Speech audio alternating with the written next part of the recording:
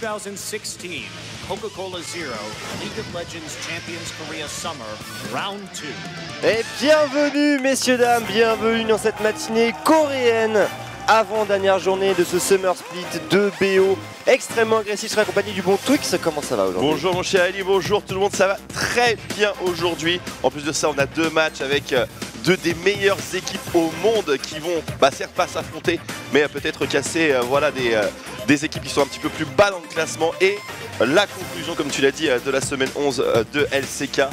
Et on a déjà quand même des résultats très intéressants et peut-être une équipe aujourd'hui qui va aller droit vers le World Championship.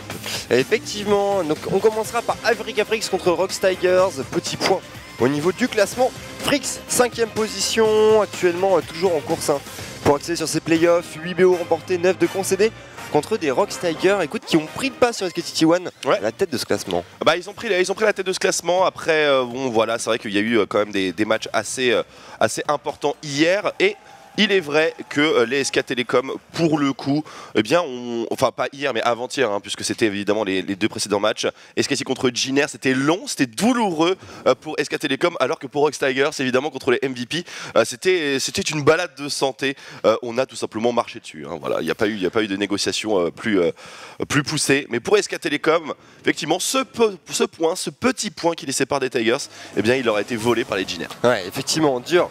Dur, dur, dur pour ces SKT qui euh, bah, nous sortent un Summer Split en, en demi-teinte. C'est de très bonnes choses, certes, mais euh, voilà des, des petites contre-performances à droite et à gauche.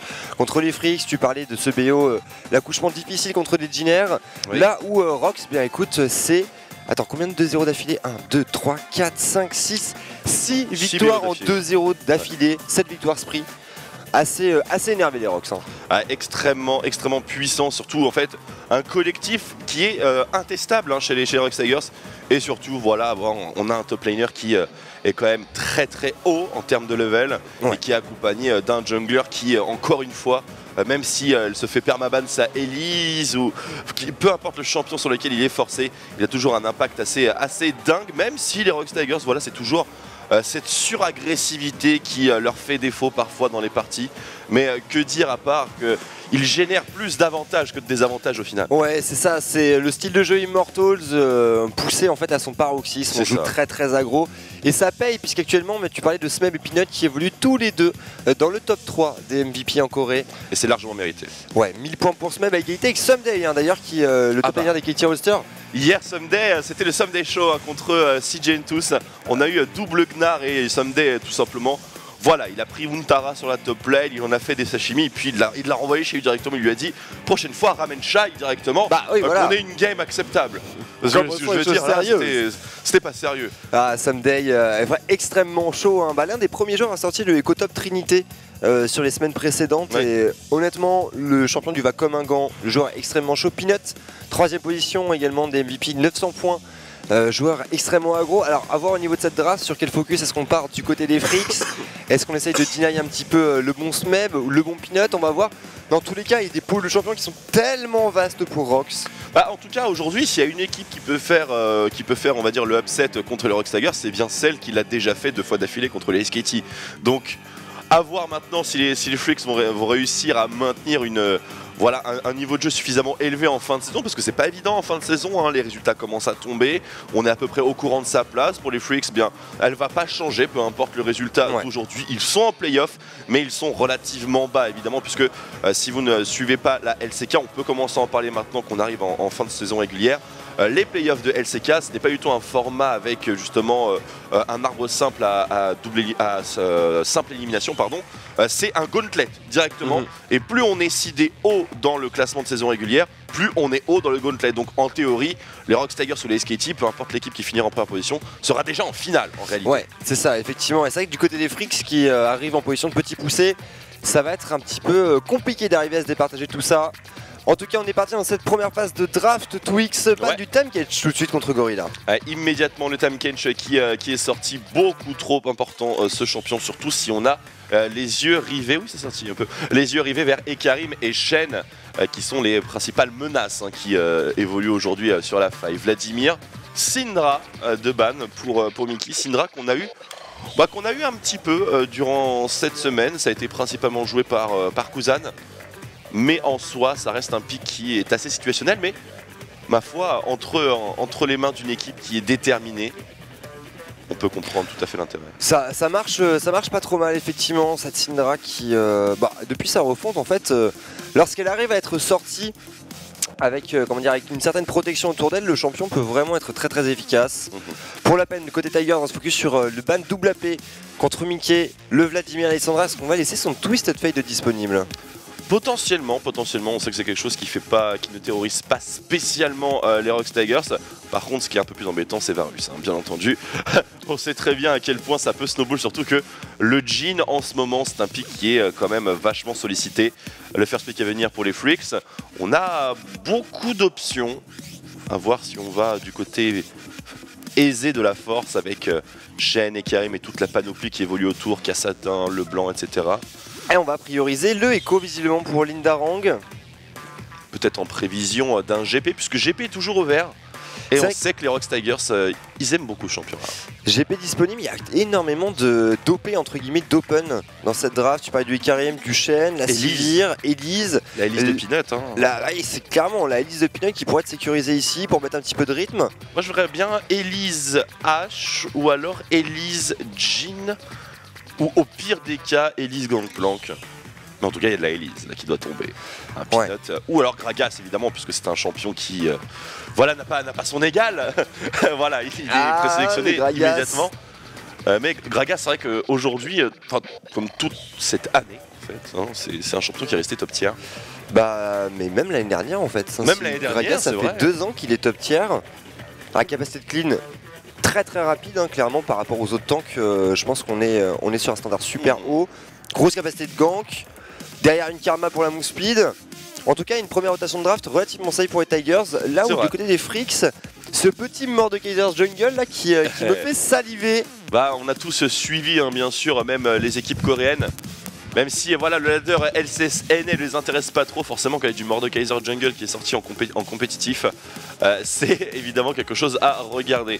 On a euh, la souris posée sur Ekarim Jungle, on n'a pas de quoi le compléter avec, bien sûr, euh, les synergies classiques. Valider la hache semble être très important.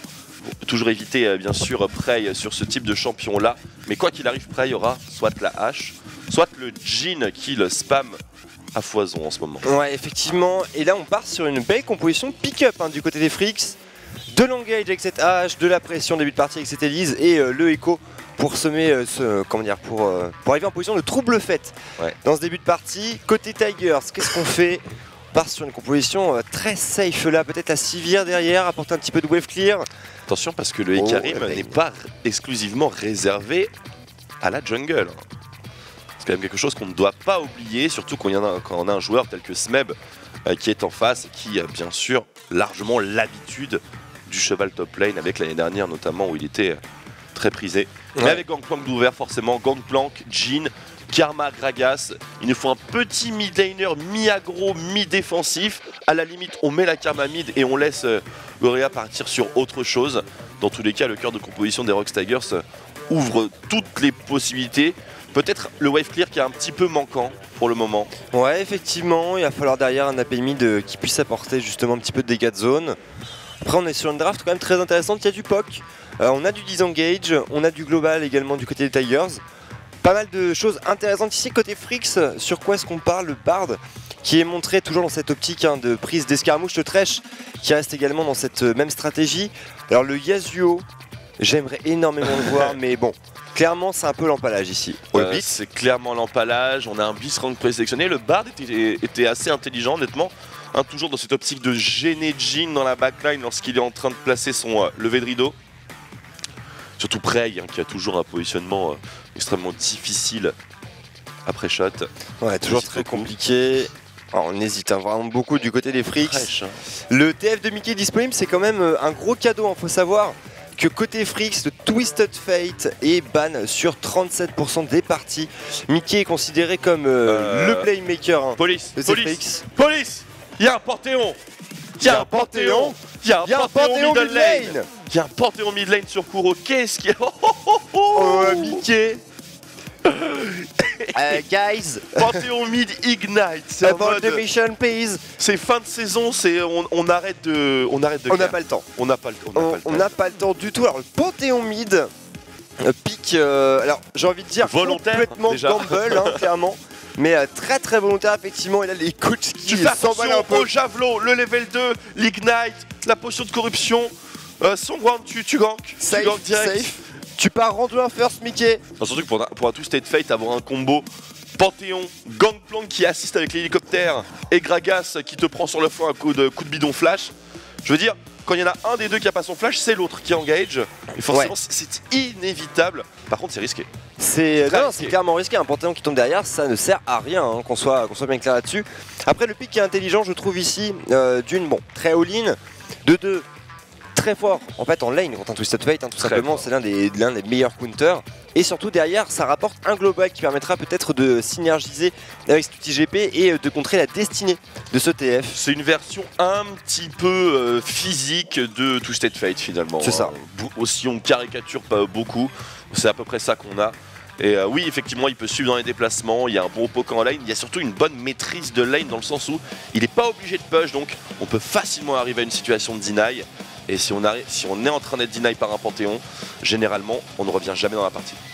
Ouais, effectivement, ça va être compliqué de tenir pour Mickey. Et je suis curieux de voir la synergie euh, Jin, GP, Panthéon. Au niveau des ultis, au niveau des setups d'engage, il y a des choses très intéressantes à faire.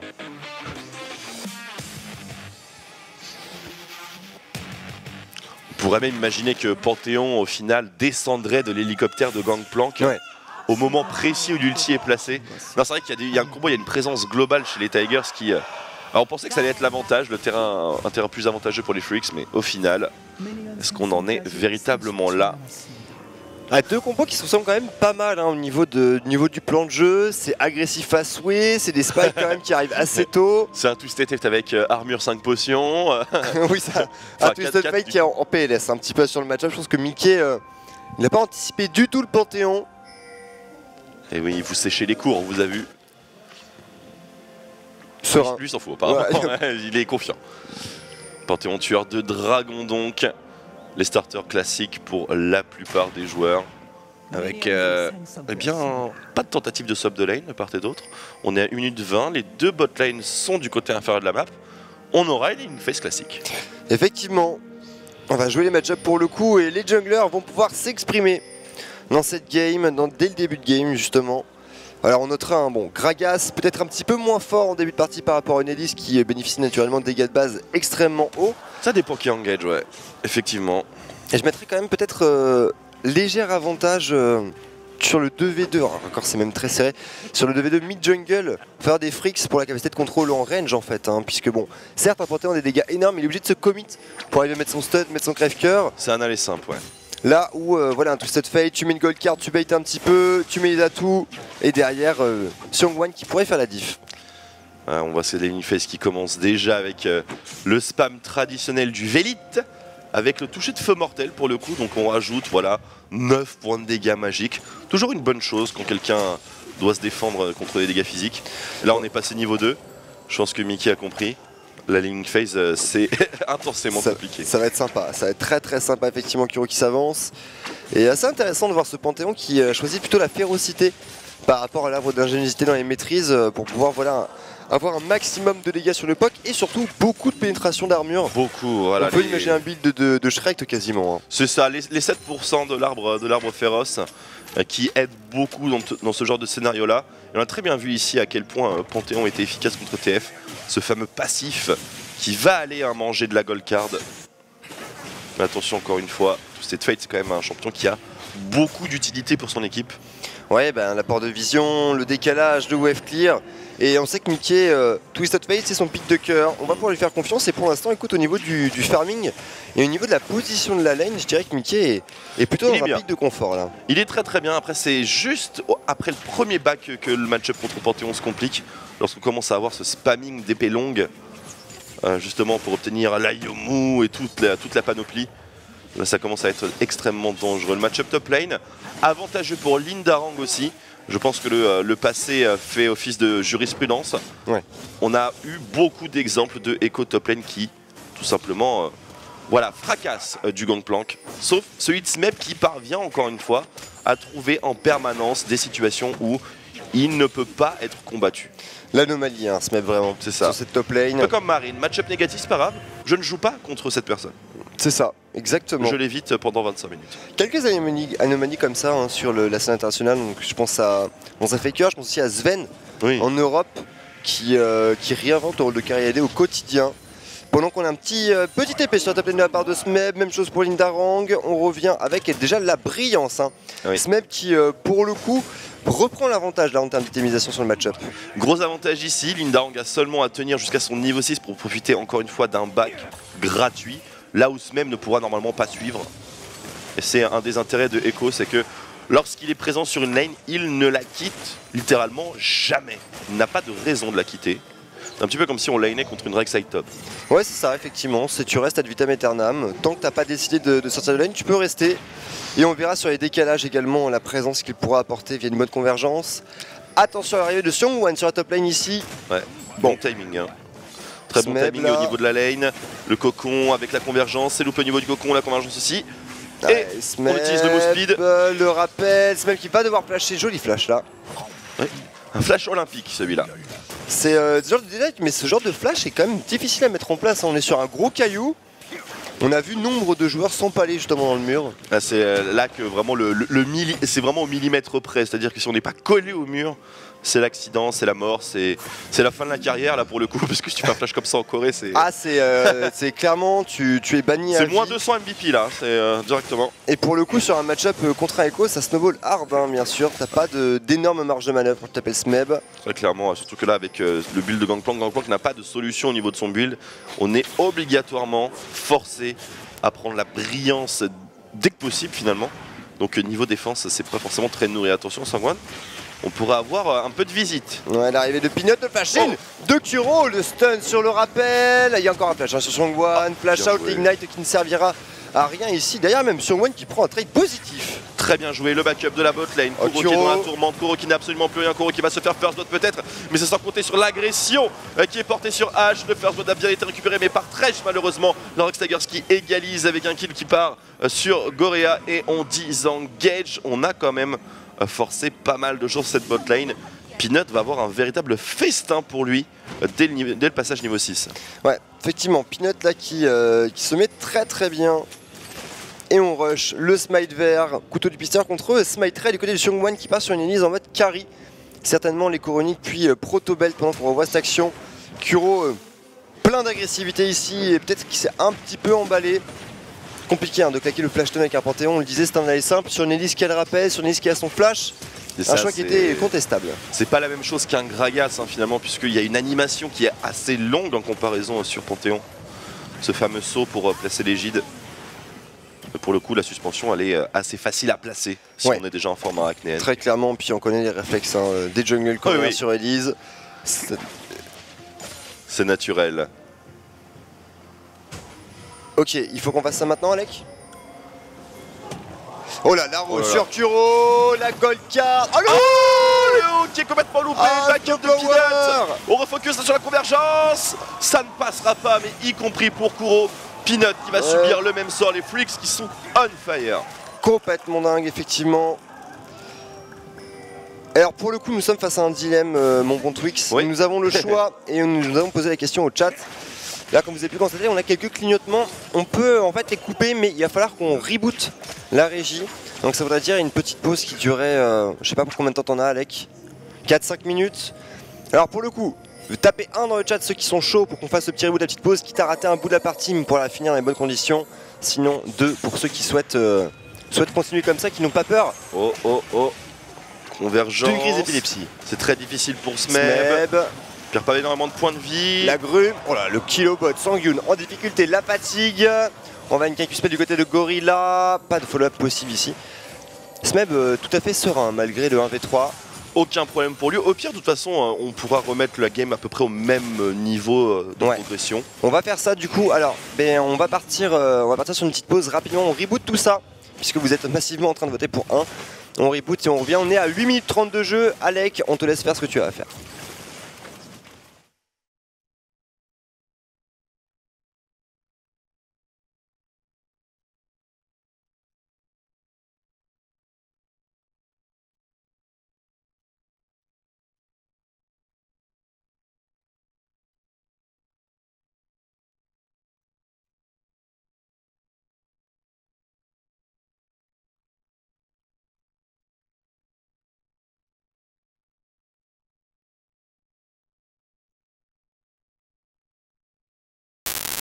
Petit- Oh, Oh la petite lanterne euh, un poil bugué là. ce skin est un petit peu OP. Attention, Pinot qui engage sur Snowflower. Snowflower qui prend de bons dégâts ici. La fatigue sur le fût.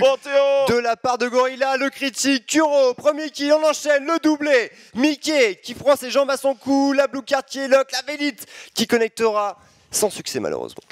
Les dégâts qui euh, étaient plus faibles que prévu au niveau de Kuro, mais forcément euh, à chaque intervention on fait claquer du summoner spell et ça reste un tout cette fate avec téléport et non pas fantôme et ça ça pèse un petit peu. Exactement, ça fait la diff. Alors pour le coup, la terre qui euh, est récupérée par les Tigers, on avance directement sur cette T2. On gratte quelques HP et surtout on va aller récupérer du Jungle Share et de la vision de la part de Peanut. Alors attention là-dessus, tout de même un millier de gold d'avance pour les Tigers, pendant qu'on va revoir cette action au niveau du top. Ah, Très bien exécuté avec euh, le lever de rideau immédiat et encore une fois le météore de Panthéon au bon spot qui speed complètement frontline et backline. Même si on va dire le terme est assez euh, difficile à analyser dans la composition des Freaks actuellement. On sent que tout le monde est un peu frontline hein, chez les Voilà, ouais. c'est, euh, allez les gars, On doit- En fait, dans les deux équipes, il n'y a pas d'énormes, d'immenses frontliners. Un peu plus côté euh, Tigers avec Peanut, mais ça reste quand même un Gragas qui a un item AP à la base. Donc, Oui. euh, ce n'est pas non plus un, ce n'est pas non plus un Ekarim ou, ou une Rek'Sai. on est, sur, euh, on est plus sur du dégât effectivement. Et ça fait plaisir de voir des compositions aussi agressives. On arrive du coup sur la 18e minute de jeu, quasi égalité en termes de gold entre les deux équipes. On notera la double Yumun terminée du côté des Tigers. On avance tranquillement du côté de Kuro sur 1000 de Shrek avec le Phage. Même principe pour Prey, sa deuxième dague dentelée. Là où du côté de Mickey, le Zonia est déjà terminé. On pourrait avoir quelques petites misaillas là qui pourraient faire plaisir. Ça pourrait être utile en effet, mais là, la question, c'est surtout est-ce qu'on a assez de dégâts pour tomber quelqu'un avant qu'il ne nous tombe nous-mêmes? Et chez les Freaks, on va dire que c'est une question euh, assez, assez légitime, car c'est vrai que le damage output est assez faible. Forcément, tout cette fight avec euh, ce Zonia est un petit peu ralenti. H a toujours besoin de beaucoup de temps avant d'être efficace. Et pour Echo Top Lane, bah, c'est principalement du 1v1 ou lors, lors des situations de 1v1 là, où ces dégâts sont pertinents. Ouais, c'est vrai que sur un format teamfight, euh, t'as pas un DPS constant suffisant pour vraiment inquiéter la line-up Tigers Ouais. qui euh, bénéficie d'une mécanique défensive assez intéressante. Il y, a- il y a beaucoup de dégâts en face, donc euh, on va dire que le timing lors duquel Echo peut être présent en teamfight est, ah, est sensiblement réduit en fait finalement. Ce qui perd beaucoup de points de vie très vite. Ouais, clairement. hein. Et il y a beaucoup de stun surtout, et ça c'est très dangereux hein, pour les chrono shifts de Lindarang. Bah, le Echo Trinité qui prend son sens en duel et après qui reste efficace en teamfight à partir du moment où tu arrives sur un, un deuxième slot défensif pour pouvoir euh, bénéficier euh, Minimum. des ouais. auto-attaques boostées avec le passif, etc. Panthéon top lane face à une pink ward. Kuro qui a déjà un fanion intéressant, un 4-2-0 quand même. Forcément avec Panthéon c'est très facile de prendre les killing blows. Ouais, bah effectivement, les- la mécanique du critique sur le finisher qui fait euh, toujours beaucoup de bien. Et Kuro qui du coup va prendre le top là en position de split push avec l'ulti disponible. Intéressant et surtout c'est cet ignite hein, qui euh, pourrait gêner énormément Lindarang. Puisque certes un Echo reste relativement safe sur le papier, Mhm. mais euh, si tu, tu diminues la régène sur l'ulti, tu peux le mettre en péril. Ça c'est pas faux. En plus de ça, il y a beaucoup de proc passifs hein, dans un 1 contre 1 contre Panthéon. Donc ça absorbe beaucoup d'auto-attaques. Et On sait que les auto-attaques sont très importantes pour l'éco-top. C'est principalement de là que viennent, euh, viennent ces dégâts. Bah, surtout avec ce build là en fait, Ouais. hein, qui, euh, qui permet de maximiser un peu la vitesse d'attaque et, et ce proc de brillance. La bot lane, top side pour les Tigers sans défense. De l'autre côté, on a seulement Echo sur le bot side avec Panthéon qui va aller le rejoindre après avoir récupéré ce blue buff. Donc comme tu l'as prévu Ellie, Panthéon face à Echo, un match-up très dangereux pour Lindarang.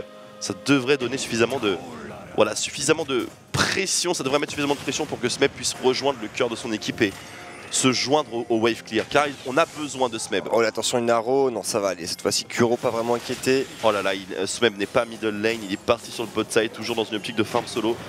Le wave clear mid lane est très faible chez les Rocks Tigers.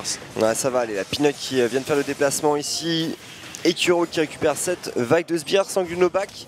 Attention, on arrive sur euh, une petite minute avant le repop du prochain Drake. Dragon des océans encore. hein. Bon, on est sur des compositions semi-poc, j'ai envie de dire, Oui. des deux côtés. Un dragon devient qui du quand coup même, peut être clutch. hein. Ça devient très intéressant, alors pas particulièrement pour les fights frontaux, puisque évidemment la régénération ne va pas marcher, mais pour le post-fight, je pense, vu les deux compositions, vu l'agressivité euh, des pics de ces deux compositions, on peut estimer qu'en sortie de teamfight, euh, il y aura. Oh Oh là attention là, engage sur Sangyun, énormément de dégâts. Wow Peanut pour le kill et derrière l'outil du Panthéon, Kuro qui envoie déjà le Snowflower, le flash out sur le rappel du rideau. Troisième balle, ça ne touchera pas, mais le stun, lui, il passera sur Snowflower. Attention, on a pas mal de backup. La fatigue, Peanut qui va trouver le fût roulant, le hook, out, la box et l'ignite. Kuro.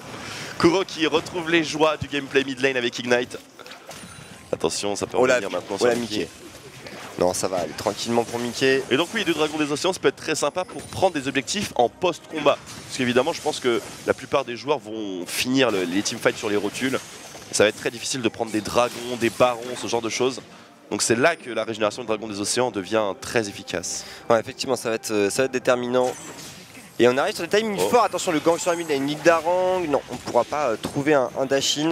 C'est rare les bonnes convergences sur Echo aujourd'hui. hein. On a vraiment tous appris à jouer contre. C'est lent, hein. C'est très très lent. c'est très lent. Et puis c'est vrai que le.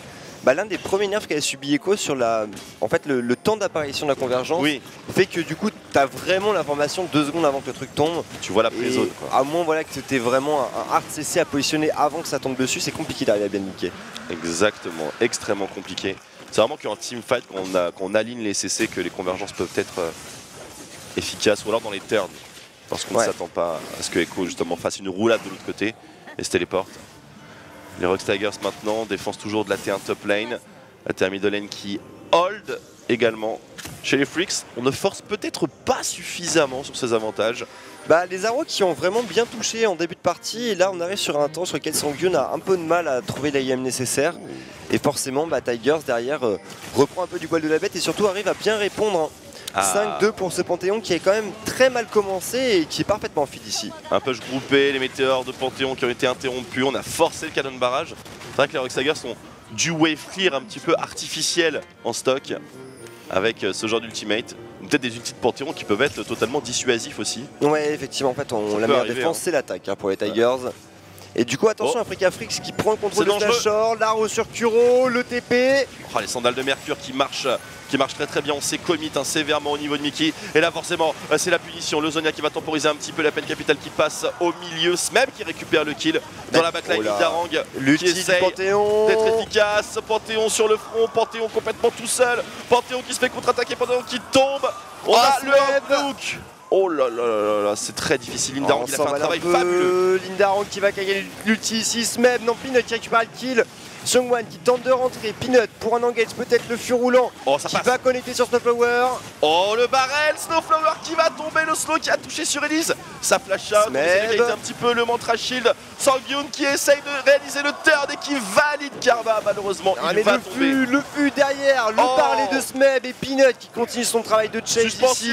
Ça De coups de piton, le fût, les bons dégâts Et le de coup de cette. Élise.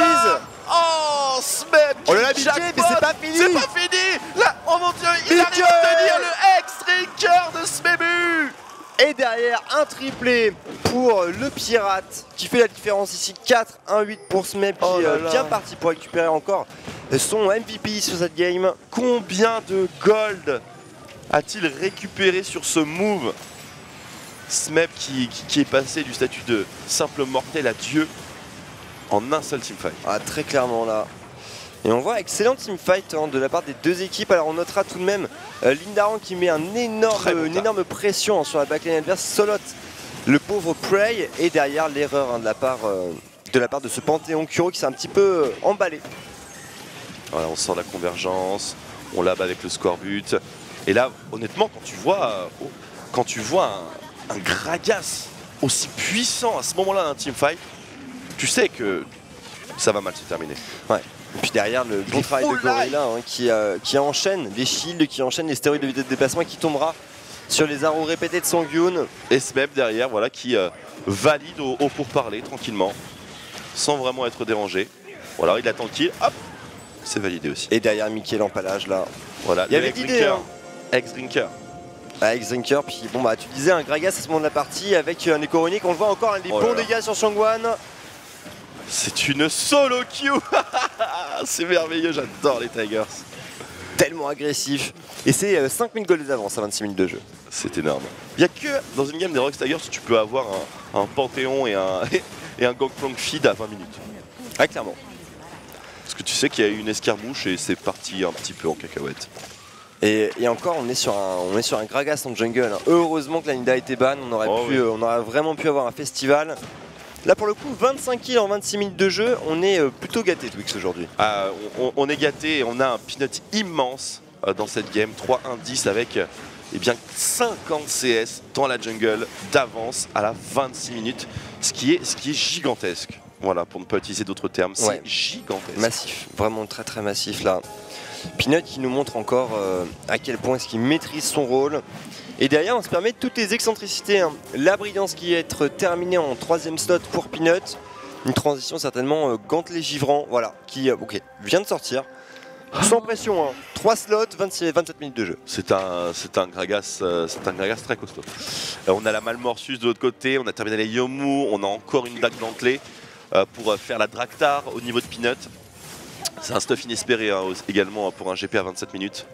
Ouais, effectivement, c'est Parce qu'il maintient toujours 250 CS. c'est ça qui qui est est dingue. extrêmement hein. régulier en fait. C'est qu'il est présent partout. Sur Oh. la roue sur Kuro, la destinée, ouais, le bon pick-up Kuro qui euh, ouais, il se permet des positionnements un peu ambitieux, on va dire. C'est un bon pick-up encore une fois, mais est-ce que les Rocks Tigers vont permettre aux Frix de rentabiliser quelque chose dessus Parce que la wave top va être défendue, la wave mid ne peut pas être assiégée, la wave bot est déjà push, il y a seulement un Baron Nashor, on ne peut pas faire le Baron Nashor contre la composition des Tigers. Donc du coup c'est c'est un move à 300 gold qui offre du farm sur les autres lanes. Ouais, c'est ça, c'est bon, quelques ultis d'investis, des CD qui vont revenir rapidement du Ça côté des coûte cher. Ça coûte très cher aux Frix d'aller prendre ce kill top. Ça coûte le déplacement de 4 personnes, donc très peu de pression sur l'ensemble de la map. Ouais, puis tu te ralentis dans ta, dans ta mécanique de farm, hein, puis on, on le voit pour le moment, donc on en parlait. Smev, 270 creeps à 28 minutes de jeu, c'est quasiment parfait. Dans la jungle, Peanut est très très bien. Sur la midlane, Kuro, certes, accuse un, un retard assez important de 30 creeps, mais derrière il a 6 kills, C'est- Panthéon. on est un panthéon qui est efficace tout de même. C'est pas, un- pas vraiment un, un laner, en tout cas pas sur la middle lane. Il n'est pas censé avoir des avantages monstrueux de, de, de creep score. La middle lane ne permet pas de faire ce genre de choses avec ce champion. En tout cas pas contre des joueurs avertis. C'est vraiment le minimum. Et pour le coup, oui, peut-être un, un défaut assez simple en fait chez les Freaks. On fight bien, on fight au bon moment en théorie, on prend de bons trades, on, on essaye de faire snowball les avantages. Sauf que on oublie, on sacrifie les autres aspects de la game pour prendre tous ces euh, calls agressifs. Ouais, c'est ça, effectivement, mais on essaie de répondre au feu par le feu sans, euh, sans pour autant arriver à trouver un snowball vraiment efficace et pertinent. Mais les Tigers, eux, font justement la stratégie du, du feu. Voilà, on dessine un cercle de feu pour que euh, l'adversaire soit complètement asphyxié. Mais en soi, ils maintiennent toujours le farm, les pressions sur le side wave, le contrôle de map sur les objectifs qui sont déjà présents, qui vont arriver. On a encore une fois le, le cap qui est euh, toujours. euh, oh, attention. Voilà, attention, l'ulti du Panthéon sur. Sangyun, ça en disengage, rappelle GP, le rappel du rideau, sort un Magnifique très bon fût Oh là là, livraison spéciale euh, pour Panthéon et Gangplank. Encore une fois, 3 kills récupérés euh, par les Rocks Tigers. Peanut est un artiste du Gragas. Ouais, tellement et derrière on, on se permet de tanker euh, quelques coups de tour du côté de Peanut sans souci. Et le call de la part des Tigers qui n'ont pas le temps sur cette première game de ce BO3. Lindarang qui va tenter de compenser avec la prise de 7 et 2 mais ça semble bien maigre face au Baron Powerplay dont va disposer Tigers. Ah, Il va être, il va être énorme. On a un Gangplank niveau 17. Il se termine assez rapidement. On va seulement pêcher. On va quand même prendre deux tourelles au niveau des flux. Ça aurait pu être largement pire. Ça veut donc dire qu'on va avoir deux waves sur trois, deux lanes sur trois pardon, qui vont être push. Ça va faire gagner un petit peu de temps sur le power play, mais pas grand chose. Ouais, effectivement, ça permet de rééquilibrer le compteur des bâtiments. Mais on est quand même sur un énorme temps fort pour les Tigers qui bah, voilà, arrive sur le timing 4ème slot pour Smeb qui a enfin son Draktar. Et on notera également le Michael Crucible de terminer par Gorilla. Michael Crucible qui va vraiment être game breaker hein, puisque bon, les arrows de Sangun sont l'engage principal de ces Tigers, de ces Fricks pardon. On avait déjà la grume, maintenant on a une deuxième purge intégrée. Ça va être compliqué d'arriver à rentabiliser ce pick H. C'est vrai qu'il est très important et en plus de ça on a vu que avec la ténacité qui est euh, assez présente hein, dans le collectif, euh, à la fois sur euh, Gragas et également sur Panthéon qui sont peut-être des deux cibles les plus vulnérables aux flèches, on va dire ça comme ça. Bah, rien que des andales de mercure réduisent sévèrement les stuns.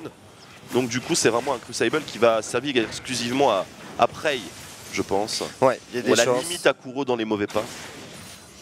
Mais voilà pour Prey, c'est vrai qu'avoir un Echo top lane Triforce dans une bonne situation, c'est pas facile pour un Jin. Et le Echo qui s'est vraiment bien itemisé d'ailleurs contre ouais. Prey, hein. le rendu la plaque des morts, autant d'items qui vont drastiquement gêner les Tigers pendant qu'on a encore cette bonne phase de prise de vision. Il y a une très forte dominance physique hein, évidemment dans la composition des, des Tigers, mais c'est un petit peu le patch qui veut ça. Tellement de pénétration d'armure disponible dans les stuffs. Vous voyez, vous regardez le stuff de Smeb, vous regardez le stuff de, euh, de Prey et vous avez toute la pénétration. Ouais, et puis c'est des items qui, en fait, qui, sont, euh, qui sont assez peu Echo chers. Echo qui flanque dans la backline. Oh là, attention, ça peut arriver vite. La rose, ça va passer sur Gorilla, la convergence, la Death Sentence derrière Oh. le backfire. Le météore en plein milieu et c'est terminé pour les carries des Africa Freaks. On s'est fait totalement surprendre par un outil de GP extrêmement bien placé suivi d'un météore. Et ici on est tombé comme des mouches. Belle tentative de flank. Peanut. Cela étant, Oh Peanut qui avait envie d'aller un peu plus loin ici. Ça passera pas. Le premier inhibiteur qui va être concédé par ses freaks. Et bien encore, malgré le très bon travail de Lindarang sur, euh, sur Prey. D'ailleurs, Lindarang qui se fait catch ici. Oh. La bonne rotation de contrôle. L'ulti pour disengage.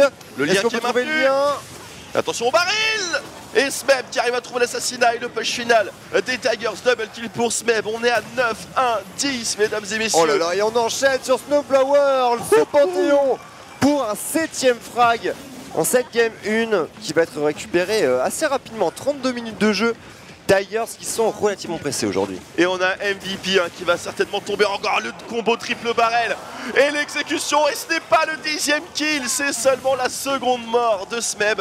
Le combo triple barrel de Gangplank, ça fait tellement longtemps qu'on ne l'a pas vu être bien exécuté. On a du Gangplank de très haute qualité ici et forcément nous faisons face eh bien, au MVP en devenir de cette saison de LCK. Ouais, très clairement, bon, les Rocks Tigers euh, qui se permettent des, des petites excentricités avec ce Panthéon mid lane et encore une fois de plus, c'est très très bien d'appliquer. Des belles rotations, des belles passes de pick-up, même si euh, on a eu quelques moves un petit peu YOLO par-ci par-là. Ouais. Je pense à Kuro notamment qui n'a pas toujours été, euh, on va dire, super safe sur ses positionnements. Quelques arrows qui ont bien touché, mais une fois de plus, le double global, l'ulti GP, l'ulti du Panthéon qui ont fait la différence. Waouh, 25 000 damage. Ce qui est assez fou, hein, considérant le nombre de menaces qui étaient face à lui.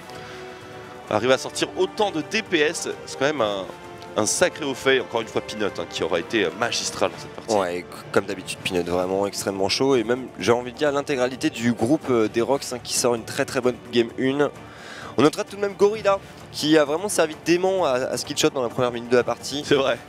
Bon, après c'était un mauvais moment passé, ça a payé euh, pour plus tard son sacrifice, puisque voilà, on l'a vu, Gorilla qui a pu trouver une utilité avec les Mantra Shield, avec ce Mega Crucible qui a fait un très bon travail sur la Teamfight.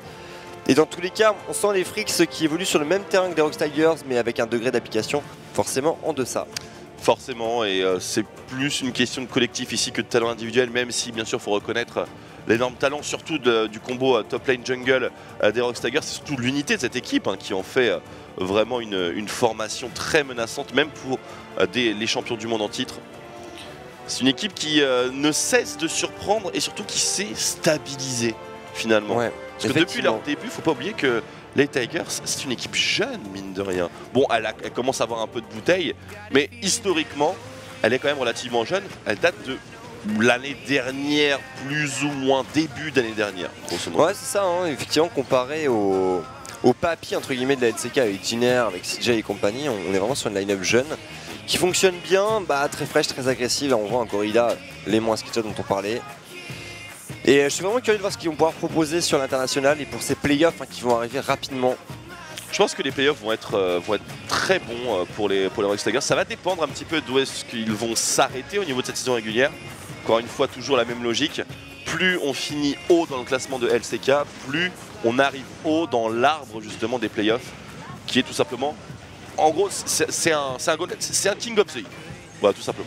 Hein, le premier est tout en haut et attend ses adversaires, et, etc., qui montent justement en fonction de leur classement.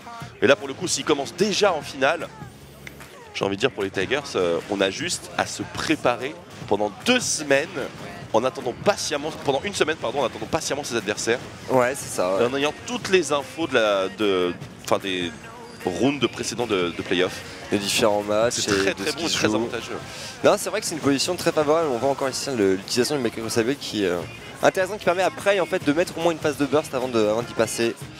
Et pour le coup, la Rocks Tigers 1-0 dans ce BO3. On va enchaîner sur une petite page de publicité afin euh, d'avoir la réponse. Est-ce que les Freaks arriveront à tirer une Game 3 ou non? Tout ça dans quelques minutes. On vous dit donc à tout de suite. Et de retour pour enchaîner sur la deuxième game de ce BO Freaks contre des Rocks Tigers qui nous sortent des jolis drafts. Original, ce panthéon, agressif à souhait, ça touche, c'est efficace. C'est très efficace et puis bon, le, le talent parle de lui-même. hein. Il est assez naturel dans, dans cette équipe des Rocks Tigers. Et pour les Freaks, eh bien, on s'est totalement fait submerger. Mais après tout, il reste une voire deux games. Cette fois-ci, ils sont red side. Voyons voir ce qu'ils donnent.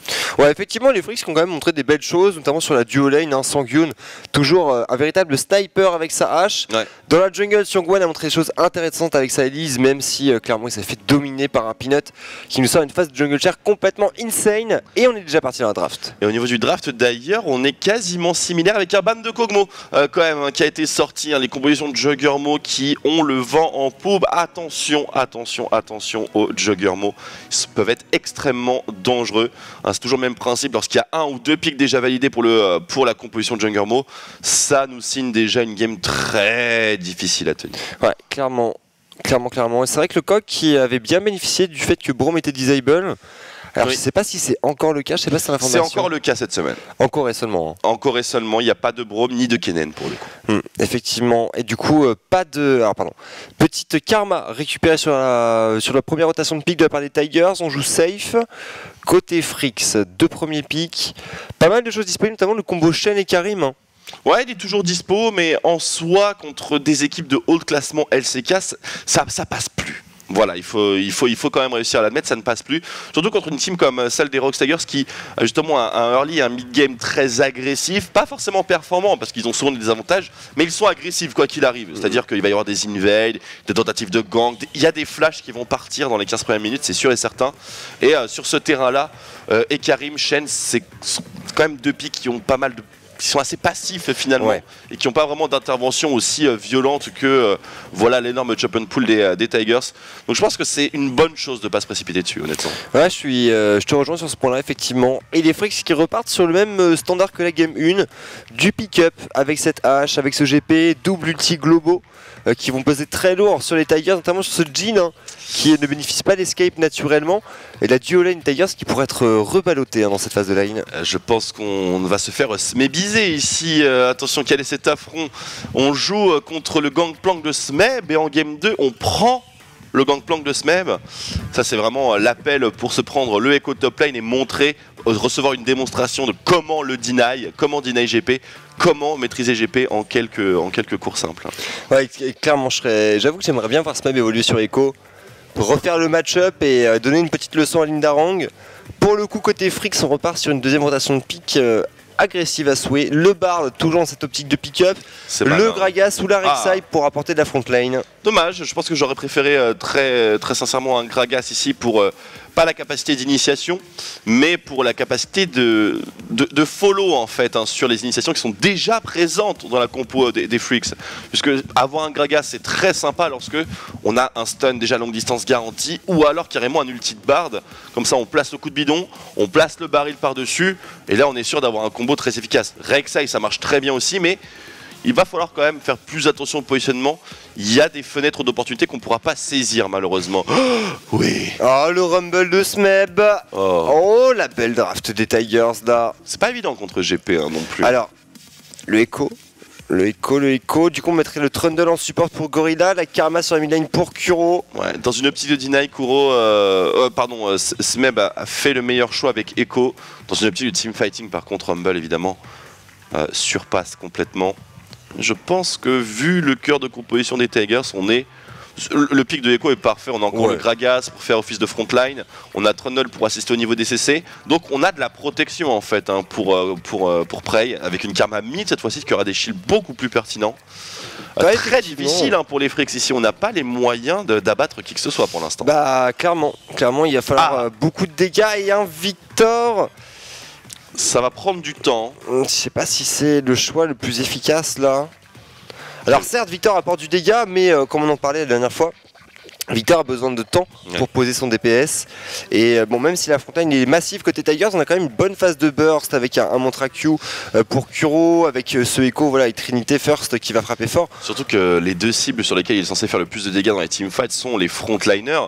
Et euh, dans cette situation-là, on a changé pour tout à fait, mais dans cette situation-là, ça aurait été terrible parce que les frontliners tels que Echo et Gragas, ce sont quand même des, des éléments assez difficiles à choper pour un Victor. Je veux Ouais. dire, ça bouge partout, ça stun, ça stay les portes, ça revient en arrière, ça restun, ça displace tout le monde. Tout cette fate est peut-être beaucoup plus confortable, je pense, pour, euh, pour Mickey, mais cette fois-ci, c'est vrai qu'on a beaucoup moins d'immunité, on n'a pas le gangplank avec le citrus, etc. Mais on a quand même des laning phase beaucoup plus solides hein, chez les. Tigers. Là, cette fois-ci, euh, Là, sur c'est les décalages. c'est une karma. Bah Karma qui va vraiment gêner dès la phase de lane, dès l'early euh, Mickey. Au niveau du top, tu fais une destinée, bah c'est un Echo, hein. tu carries un ulti et t'es relativement ça. safe. Sur la duo lane, certes Prey pour être exposé, mais derrière on a Gorilla qui va pouvoir euh, se mettre en opposition. Non, une belle draft de la part des Tigers qui euh, ne sous-estime pas vraiment ses freaks. On prend la front lane et derrière une grande capacité de pick-up tout de même. Et même en cas de Twisted Fate, on a encore euh, les capacités de s'adapter. Euh, ici, il y a vraiment une grosse vulnérabilité des Tigers, peut-être sur le bot side, avec les, les dé- les décales de, la destinée, avec la flèche de cristal et le destin tempéré. Mais en soi, ça reste quand même assez léger niveau pression. Et encore une fois, sur le draft comme ça, euh, les Rocks Tigers semblent avoir un léger avantage qui est beaucoup plus facile à faire snowball que celui euh, euh, des Freaks pour le coup. C'est ça, on a vraiment une énorme marge de manœuvre en fait du côté des drafts des Rocks avec un bon wave clear. On est plus traditionnel aussi dans les pics. hein, Oui, c'est hein. ça, c'est ça. on a de la on- frontline, on a du support, on a du CC soft, du CC hard, on a un électron libre. Tandis que chez les Freaks, on est un peu euh, en mode on prend des personnages qui peuvent offrir un maximum d'opportunités. Tout State Fate, GP, Rek'Sai qui est partout, Ash, Bard, et on voit ce qu'on arrive à provoquer. Tout simplement. C'est ça, c'est ça, exactement. En tout cas, les Tigers, là, qui avec cette draft euh, hyper tryhard, n'a pas envie d'aller en game 3.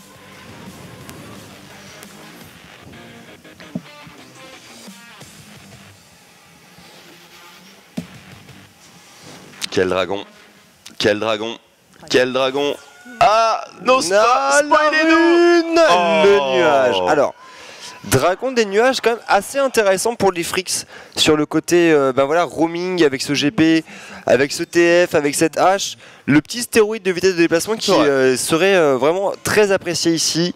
C'est pas très hype, mais ça reste quand même très correct. Un 25 de move speed, c'est des bottes hein, finalement. Ouais, c'est des potes sur une équipe. euh, c'est, je je trouve Oh. vraiment que le, le travail est intéressant au niveau de ce changement sur le Drake. Pendant qu'on a les, les, les fangirls euh, Next level fan en tout cas. ouais, clairement au-dessus de tout en coréen. Allez, swap de lane cette fois-ci serait peut-être plus intelligent pour les Freaks. Ils n'ont pas réussi à l'obtenir en game 1 et ils ne l'obtiendront pas non plus en game 2 malheureusement. Hmm. Parce que ça a été pré-shoté. Ça a été bien anticipé effectivement. Bonjour. Bonjour. Oh là là là. Beaucoup trop de, beaucoup trop de panneaux. Faudrait qu'on se mette au coréen de ces quatre quand même. Je... Ouais, c'est difficile. hein. Enfin, il- Ah, c'est pas le genre de langue que que, t'apprends euh, en claquant des doigts quoi. ouais, voilà, c'est quand même un autre euh, alphabet en théorie. Je sais pas si c'est aussi dur que, que le chinois par exemple. C'est ou- beaucoup moins dur que le chinois. Moins- le chinois, c'est n'importe quoi. C'est du n'importe quoi. Très On bien. fait euh, quelques cours d'initiation lorsque j'étais en fac. euh, pouh, mon Dieu. C'est-à-dire qu'une semaine de cours, j'ai rien pigé. hein. Ah oui, à ce point-là. quoi. Ah oui, oui, non, j'ai rien capté du tout. C'est- trop dur en fait. C'est trop dur. Tu vois, les mécaniques du français, elles sont trop simples finalement. Voilà, attention le trail au niveau du bot, Linda Rang, là bah voilà, Smeb. Oh. C'est comme ça qu'on joue un Echo top lane. Bon, clairement, euh, Lindarang là, qui est en train de se dire Bon, Surtout, je me suis fait recte sur le match aller. C'est surtout la gestion de l'agro qui lasse même. Parce que prendre ce genre de trade là au niveau 1, c'est extrêmement difficile. hein. Ouais, c'est très risqué, hein, parce que si jamais, bah voilà, faut garder à l'esprit, les sbires range à ce moment de la partie font environ, en tenant compte de l'armure, 20 dégâts par seconde. Mhm. Tu prends 3 sbires range, du coup tu es sur 60, ça fait en fait quasiment un ignite hein, de positionner sur cette phase de trade. Et il arrive quand même à sortir vainqueur, Smeb ici. C'est ça, il a attaqué précisément au moment où euh, la première wave arrivait à l'expiration et où la deuxième arrivait. Il a reset l'agro avec le bush et ensuite a pris le trade dans le bon format. Attention, top lane, ça peut être très dangereux pour les, euh, le pour les flash Tigers. out, on va trouver un... Oh le backfire des rocks, ici Gorilla qui va tomber certes, mais qui emmènera dans la tombe Snowflower. La confiance Oh, c'est euh, surprenant, vraiment. Attention au niveau du mid, là, Kuro, le Q-spell qui va atterrir dans les sbires. Malheureusement, et au niveau du top, encore Lindarang Oh là là. qui vient de se prendre une convergence. Les barils qui se font deny et Smep qui se balade. Ah, il se balade complètement ici. On voit, en plus de ça, le match-up ne va pas du tout en s'arrangeant. Désolé pour les petites perturbations de barre youtubienne. Mais euh, le match-up va pas du tout en s'arrangeant. À part Oh là, attention, c'est Kuro. une karma. donc, euh, Dur, là, dur c'est- là, c'est pas hein. Panthéon. C'est clairement pas Panthéon. Très très dur à aller chercher. Après, bon, voilà, on craque un petit peu de mana de côté de C'est Kuro. Définitivement. Pour le coup. Voilà.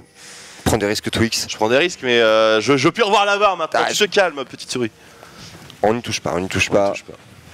Et euh, qui s'emploie là pour récupérer la vision au niveau de ce bot side. On a envie de, de peut-être investir quelques ressources autour de cette euh, bot lane. Il faut aider Lindarong. hein.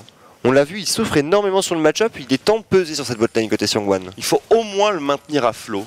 Il faut toujours qu'il ait euh, au minimum un farm équivalent, sachant qu'un farm équivalent pour Gangplank, ça peut être un farm inférieur, euh, vu son passif. Mais ça reste extrêmement dangereux. Là, il y a une bonne ward qui a été posée. Ça révèle Peanut, ça révèle Peanut. C'est une très bonne information pour les Freaks. Oh là, et le petit baril qui va connecter. Smep qui doit absolument faire reset cette vague. Voilà, et Peanut qui euh, va lui filer un petit coup de pouce ici. On prend les sbires sans sourciller. Hop, le canon qui va être récupéré. Ouais, il faudrait faire ça, je suis d'accord avec toi. Hop, Voilà, le bon call de la Real. C'est la dernière fois que vous voyez cette barre YouTube. allez. Va-t'en On ne veut plus de toi. Hérétique au bûcher. Oh non, mon dieu. Je crois qu'il s'est passé la pire chose. Ah non Si, je crois qu'il s'est Oh passé la pire chose. Où est là Voilà, il est là. Allez, va-t'en maintenant. Fuis, Fuis, petite, euh, petite barre YouTube. fuis. On se met le trade, encore la convergence qui va connecter. Yes Le baril qui est denied et Lindarang qui euh, perd la moitié de sa barre de points de vie ici. Ouais, Seulement la moitié pour l'instant. Heureusement que la wave est bien positionnée en théorie. Après, il a fait, euh, il nous a fait un starter potion de corruption. J'espère qu'il aura, vache, il aura suffisamment de gold pour terminer sa brillance. aïe, aïe, aïe. Ah c'est dur, ah c'est dur là, on revient à un double cristal du côté de Lindarang qui... euh, double, oui, c'est double cristal. Ouais. Ça va être, euh, ça va être dur, hein. ça va être très très dur à tenir ici, puisque là derrière le Echo qui revient très mauvais. avec trois items de lane en fait, hein, le Dark Seal, le Doran, la potion de corruption. On a envie de pouvoir continuer du côté de Smep, d'appuyer sur ce duel qui est avantageux pour lui ici. Complètement avantageux, pas de pression euh, possible au niveau de, au niveau de Rek'Sai, puisque sa présence bot lane ouvrait trop de terrain ailleurs, je pense. Surtout que impossible de prendre quelque chose de, de positif sur Smeb actuellement. Ouais, là c'est compliqué. Bah, il va y avoir le niveau 6 en fait, et puis bon, un, un petit pool d'HP quand même assez intéressant avec ce Doran. Là où la Rek'Sai de Xiongwan n'a toujours pas accusé de bague. Voilà, enfin on revient à la base, le Tiamat est terminé. Donc là, Xiongwan qui vient de prendre une position de dominateur dans cette game avec ses dégâts de base assez énormes. Là où du côté de Peanut, on est reparti comme sur les games d'avant, dans le contrôle de la vision avec ce couteau du pisteur. Surtout avec une forte présence hein, sur la map avec cette potion du chasseur. On peut vraiment étendre les phases de farm et euh, les faire euh, coïncider avec euh, les phases de gank, vu qu'on est tout le temps, tout le temps, tout le temps présent. Un petit peu le même principe pour Peanut et Smeb au final. hein. C'est-à-dire qu'une fois qu'ils sont lancés sur leur lane ou leur jungle, ils ne reviennent quasiment jamais à la base. Bah, c'est soit le kill, soit voilà, la phase de lane qui dure 15 minutes et, et on rentrera ou sur le timing euh, 1500 gold. Et vu que ce sont des pics qui sont euh, très faciles, qui ont un, un énorme sustain, Oh là, attention le dive ici sur Prey, Laro qui va connecter sur Gorilla. c'est assez mal exécuté. du GP Oh La dernière flèche létale dans la gorge Vraiment dommage pour Prey, on n'était pas loin de s'en sortir. Son heal vient de revenir, hein, si je ne m'abuse. Son heal vient de revenir effectivement. Ah, ça, coûte, euh, ça coûte un petit kill ici. Gorilla qui s'est fait une frayeur également. Et bien encore la- l'outil du Gangplank qui pèse très lourd avec le Thunderlord. C'est ça, hein, bien sûr, c'est toujours euh, cette euh, mécanique de d'ulti GP à travers la map avec le, le décret qui proc.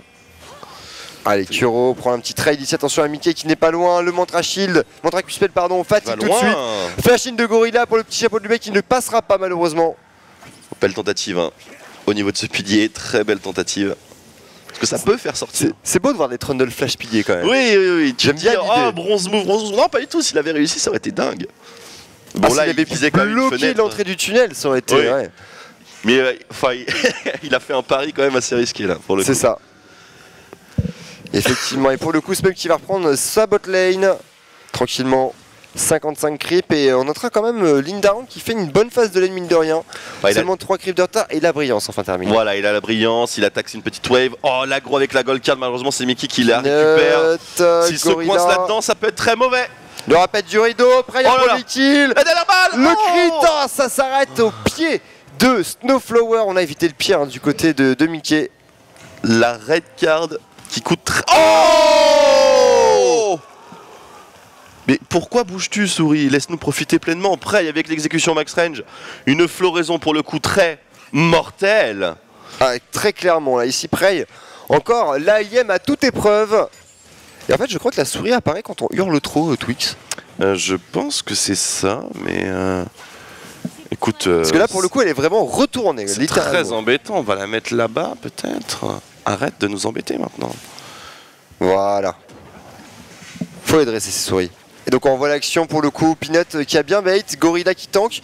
Et le montre exaltation qui, euh, qui fait du bien ici. Cette quatrième balle qui s'est vraiment arrêtée euh, au seuil de, du groupe euh, des Fricks ici. Mickey Est-ce qui, a contesté Bati. Ah non, il a été tout droit, juste. Il a fait confiance à son instinct. Oh C'était totalement à l'aveugle. Très bien joué. le beau jeu.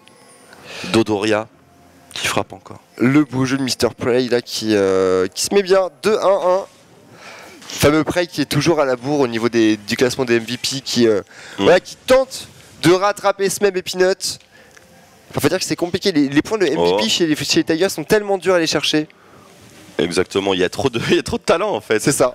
Et euh, quand t'as le playmaker qui euh, est en synergie avec un autre playmaker dans ta team. Qui est lui-même en synergie avec d'autres Qui playmakers. synergie avec d'autres playmakers, t'es là, bon les gars, moi je joue Cariadé hein, en ce moment, c'est pas mon patch. Attention, ça peut être un très bon dive ici. La rotation Gorilla, l'UTGP encore, et pas de chance de survie du côté de Gorilla. Attention, Oh là là. TP ici, Prey qui s'empale un petit peu sur la destinée de Mickey. Voilà pourquoi on n'a pas de MVP peut-être. Le flash-in, dernière auto-attaque, bien sûr la quatrième balle.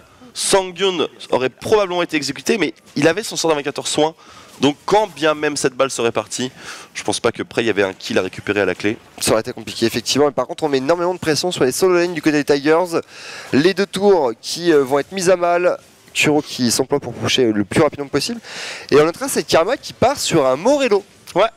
Morellonomicon, on va dire que le Graal limpide d'Athènes est très très bien dans une optique purement défensive, mais lorsque tu as... Remarque qu'il aurait pu faire les deux ici. hein. Mais c'est vrai qu'avoir une Karma Morello qui coupe toutes les régénérations et qui a beaucoup plus de burst et qui a justement un bon sustain de mana en teamfight, etc. etc. C'est vrai que ça en fait un pic quand même. On prolonge un petit peu son power spike en fait. C'est ça exactement, puis on reste dans cette optique des Tigers qui est d'être euh, agressive au possible. Ça a frappé fort l'hémorragie qui a pesé très lourd contre ce GP, euh, contre cette Rexa et même la hache hein, qui évolue sur un Warlord ici. Attention à ce meuble, la destinée, on va refermer les taux, le C'est pas destin mal. tempéré. Si la convergence reste, et malheureusement à la fade, c'est la mort de Smebu. Ah ouais, très belle rotation de CC. hein. On ne laissera même pas une frame pour activer un ulti potentiel qui n'était même pas disponible pour le top laner des, des, des Tigers. Ouais, les Freaks qui jouent très bien leur composition, ils sont présents partout sur la map et saisissent toutes les opportunités en profitant de leur, euh, leur extra mobilité et de leur CC longue distance. Ils peuvent engager n'importe quel mouvement. C'était l'intérêt de leur draft. Mais ici, encore une fois, toujours le même problème. On ne prend pas d'objectif. C'est ça, c'est le, le snowball des Freaks euh, qui est un peu timide. Les Tigers défendent trop bien leur tourelle. Ils sont toujours présents dès qu'il y a un move. Tout le monde se met en route pour défendre le push manquant. Puis c'est là aussi qu'on voit Oh. l'intelligence des Tigers euh, au, niveau de, au niveau de la gestion des lanes, puisque en fait dès qu'on a une phase d'agression, t'as toujours les lanes qui sont push au maximum. Mhm. Ce qui fait que, bah voilà, certes, la défense déjà est rapide à, à arriver côté Tigers, mais en plus on a déjà un terrain qui est propice à une, à une défense efficace. Exactement, tu peux pas prendre davantage sur les autres lanes ou même celles que tu viens de gank. Il coupe en fait tous les efforts et donc forcément pour faire un move offensif, on claque du summoner, on claque du TP, on claque de l'ulti, on ne rentabilise pas tellement parce que quand tu mobilises 4 personnes pour 300 gold, c'est pas ce qu'on appelle un, un move rentable. Clairement pas. En tout cas, ça l'est pour celui qui tue, évidemment. On prie pour que ce soit la bonne personne. Et du coup, sur le reste de la map, bah, on continue à générer beaucoup, beaucoup, beaucoup de gold. Ouais, Et exactement. on reste à flot. On farm en fait, hein, et ça se voit au niveau de la top lane. euh, Avantage de 10 creeps pour Smeb, au niveau du mid, C'est 14 la creeps pour jungle Kuro. encore. hein. Et ouais, toujours Peanut sur son Gragas, euh, efficace au possible. Très peu de dégâts dans la composition des, des, des Freaks ici. Entre le Twisted Fate de la game précédente, qui, qui d'ailleurs va se prendre un de ces trucs. Ah, ça va être assez sale, effectivement. Il y a un flash sur Mickey. Non, il est quand même bien positionné ici, relativement safe malgré la pink ward. Et on pourrait peut-être prendre à partie ce héros de la faille qui est bien gardé Oh par. Lindarang. Planque. Et non, on part sur une phase d'invade de Red Buff qui va être pris à partie. Ah, le tunnel qui est tombé, on devrait normalement savoir hein, où est Peanut. On devrait avoir quelques informations. Vous voyez ici le positionnement de Gangplank. Il sait très bien que s'il se montre sur sa lane, il est mort. C'est game over. Oh, le super. désert repéré, Gorilla en opposition. L'outil du GP, le bureau prêt, qui n'aura même pas le temps de se repositionner. Gorilla qui sera forcé de claquer la soumission plus le flash out. Et Toujours la même chose chez les, chez les, euh, chez les Freaks. Laro, le dessin tempéré, le jungler, on burst, on burst, on burst. C'est la botlane. C'est le terrain à exploiter pour les Freaks. Complètement. C'est très bien vu au draft. Maintenant ici, ils ont réussi à prendre une tourelle. Donc du coup, c'est deux tower dive pour prendre un objectif. Oh là là, Snowflower qui prend énormément Oh de dégâts, le flux explosif de Peanut. Il va y aller. Est-ce qu'on peut aller au bout Il va y aller, 100%. Ah, les, deux sont, les deux sont très low. Kuro qui fait le déplacement. Et le Drake qui va être cancel pour les Freaks. Non d'un petit bonhomme. Il fait des dégâts monstrueux, Peanut. Ah, le Gragas euh, sur le timing iconique, clairement, ça rigole fou. pas. hein. Ah d'accord, c'est une réponse à l'agression de Prey. Ok. C'est encore mieux joué pour le coup. Ouais. Gorilla qui s'est mis en position de héros pour bloquer la flèche, mais qui au final ouvre euh, le lien cosmique de Bard. Heureusement que ça reste du 1 pour 0. Ouais, effectivement, c'est un petit pick-up, mais on investit encore pas mal de ressources au niveau de ce bot side côté Freaks. Et derrière, c'est la hache de Sangloon qui se met très bien. 2-0-4, l'âme d'infini rushée est terminée. Donc on est déjà sur une hache qui a présenté un potentiel de dégâts très intéressant. Et un gangplank qui confirme aussi.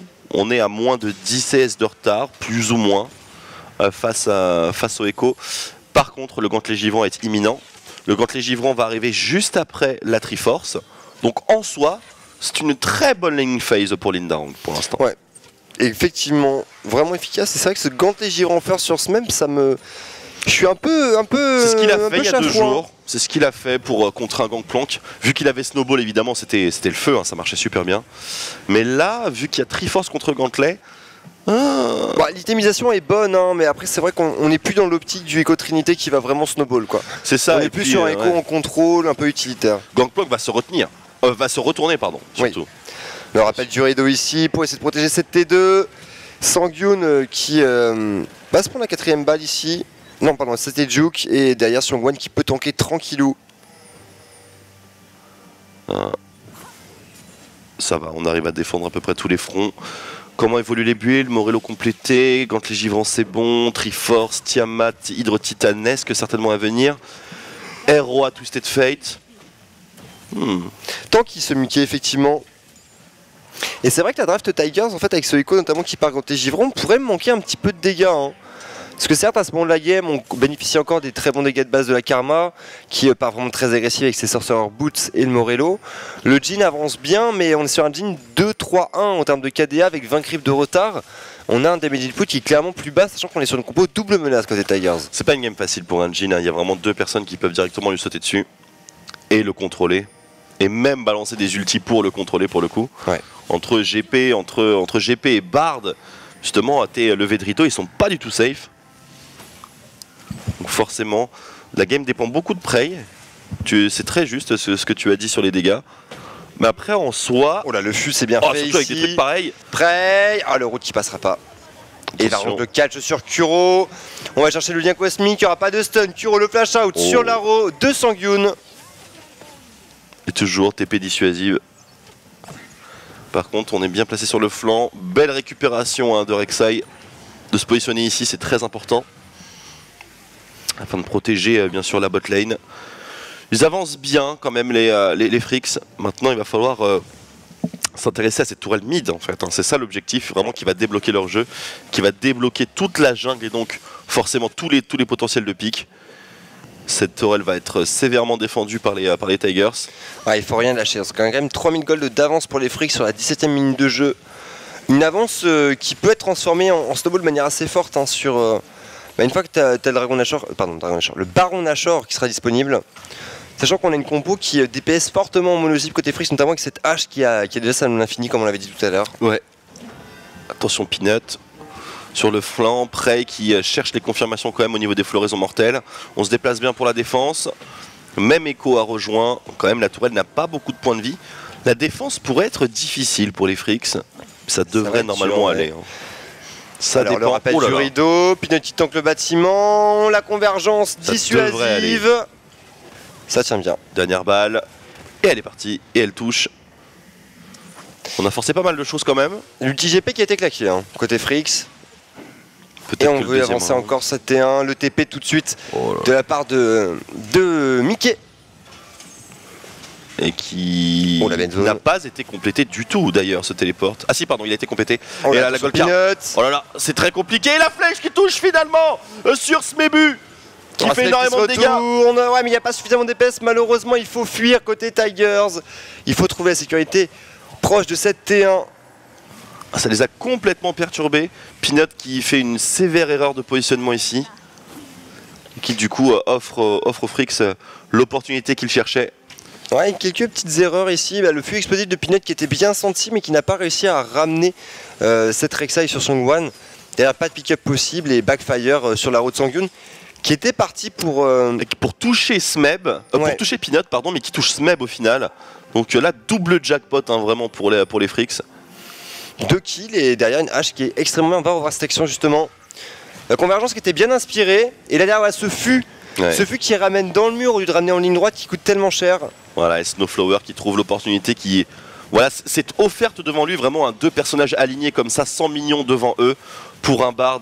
C'est c'est- c'est évidemment du enfin, c'est- c'est c'est inespéré, c'est du pain C'est béni. du pain béni, ouais, clairement. C'est du pain béni juste devant la tourelle en plus de ça, l'opportunité était, était trop belle pour ne pas être saisie même si ça coûte un flash. Et juste derrière évidemment toujours la même logique hein, dans leur composition au Frix, rotation de stun. Voilà, il y en a un, il y en a quatre. Ouais, la duo lane qui fait vraiment un énorme travail. Il est à 100% de KP pour les deux joueurs, ce- Snowflower et Sangyun. Derrière ce GP qui avance extrêmement bien.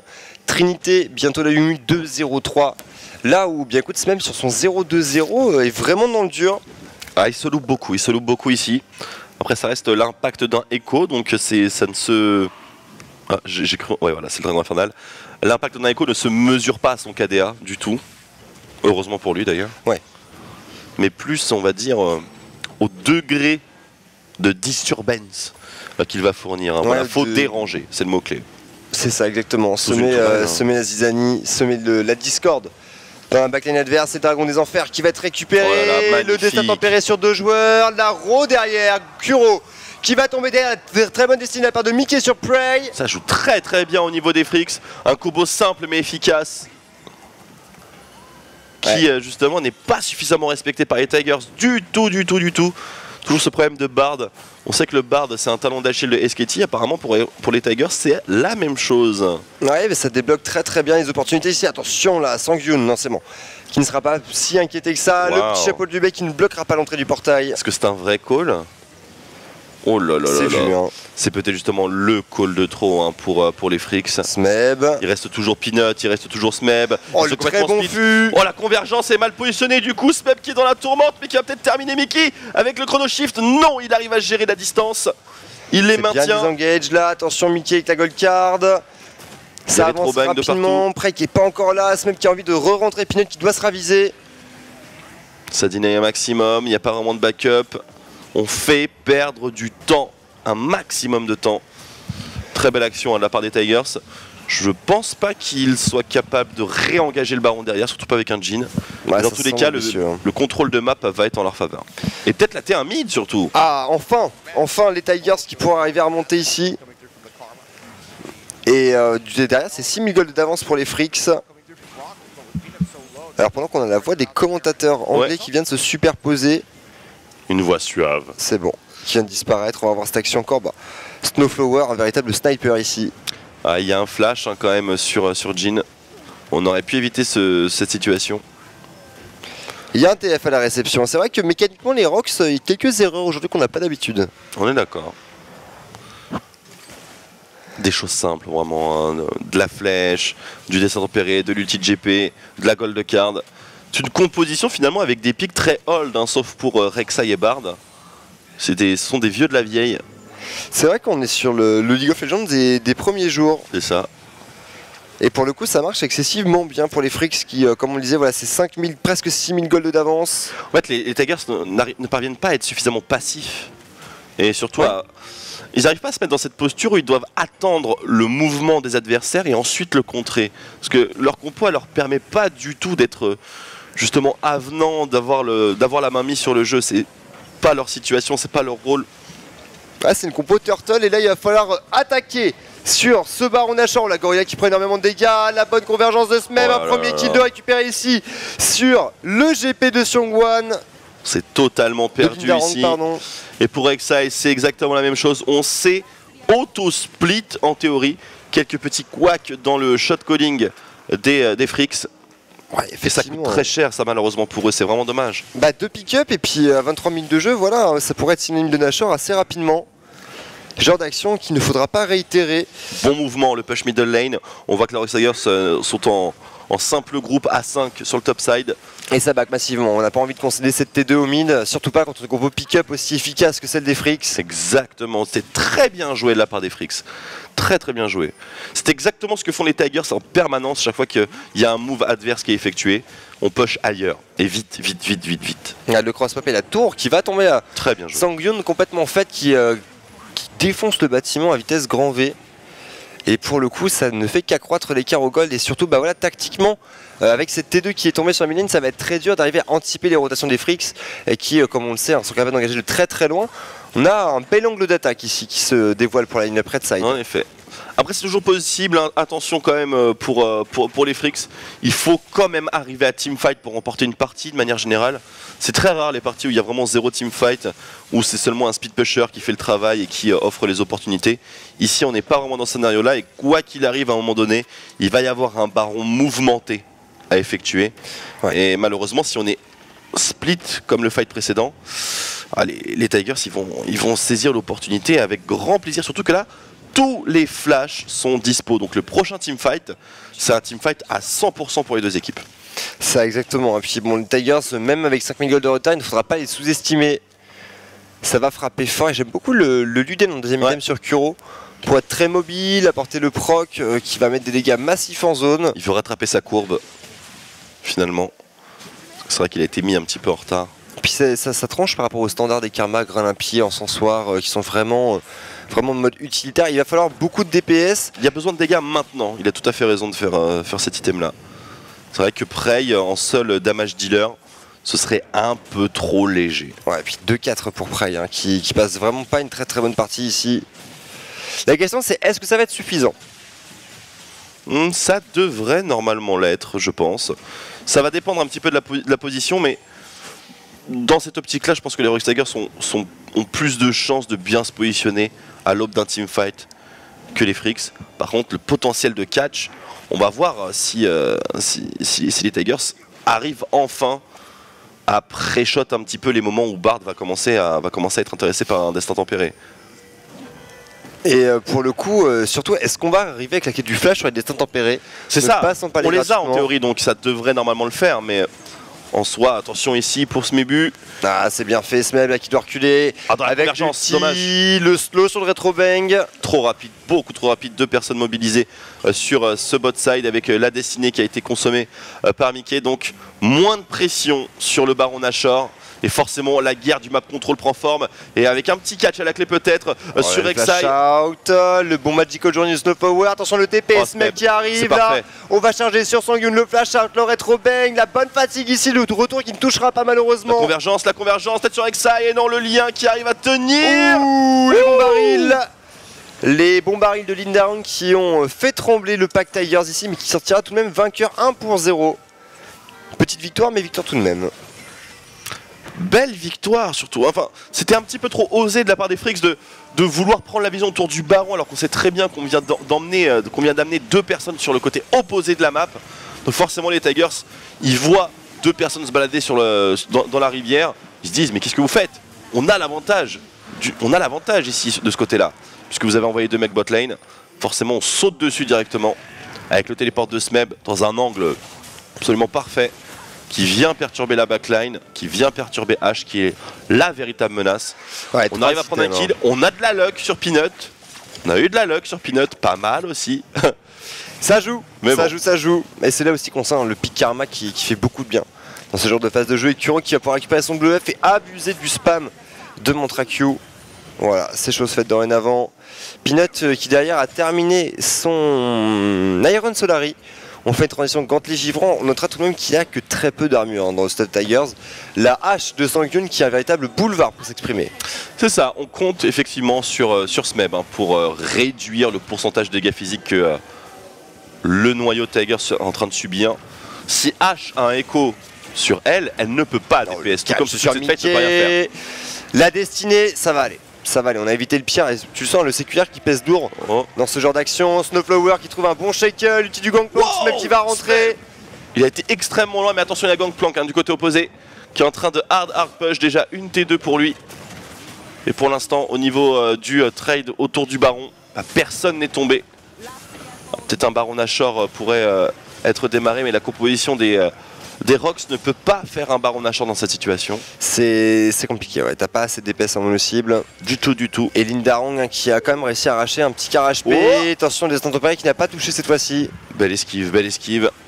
Ce genre de transition là, c'est vraiment euh, très intéressant pour Bard. attention, Peanut. Un petit feu roulant qui va connecter. Le route qui ne passera pas. C'est difficile, très difficile pour les Tigers toujours ces 5000 goals de retard, mais bon, l'écart ne se creuse plus depuis euh, déjà 6 minutes environ. Ah, normal, beaucoup plus difficile de prendre des T2 que des T1. Même si on a réussi à en voler deux, en théorie, puisque les deux qui ont été pris, c'était sur euh, un défaut de positionnement des, euh, des, Tigers. Ah, il va falloir arriver à justement pallier un petit peu à ces défauts côté Tigers et se réveiller au niveau du compteur de tours, puisque bon, les Freaks, c'est 5 tours à une, ça pèse très loin dans la balance à ce moment de la partie. C'est ça.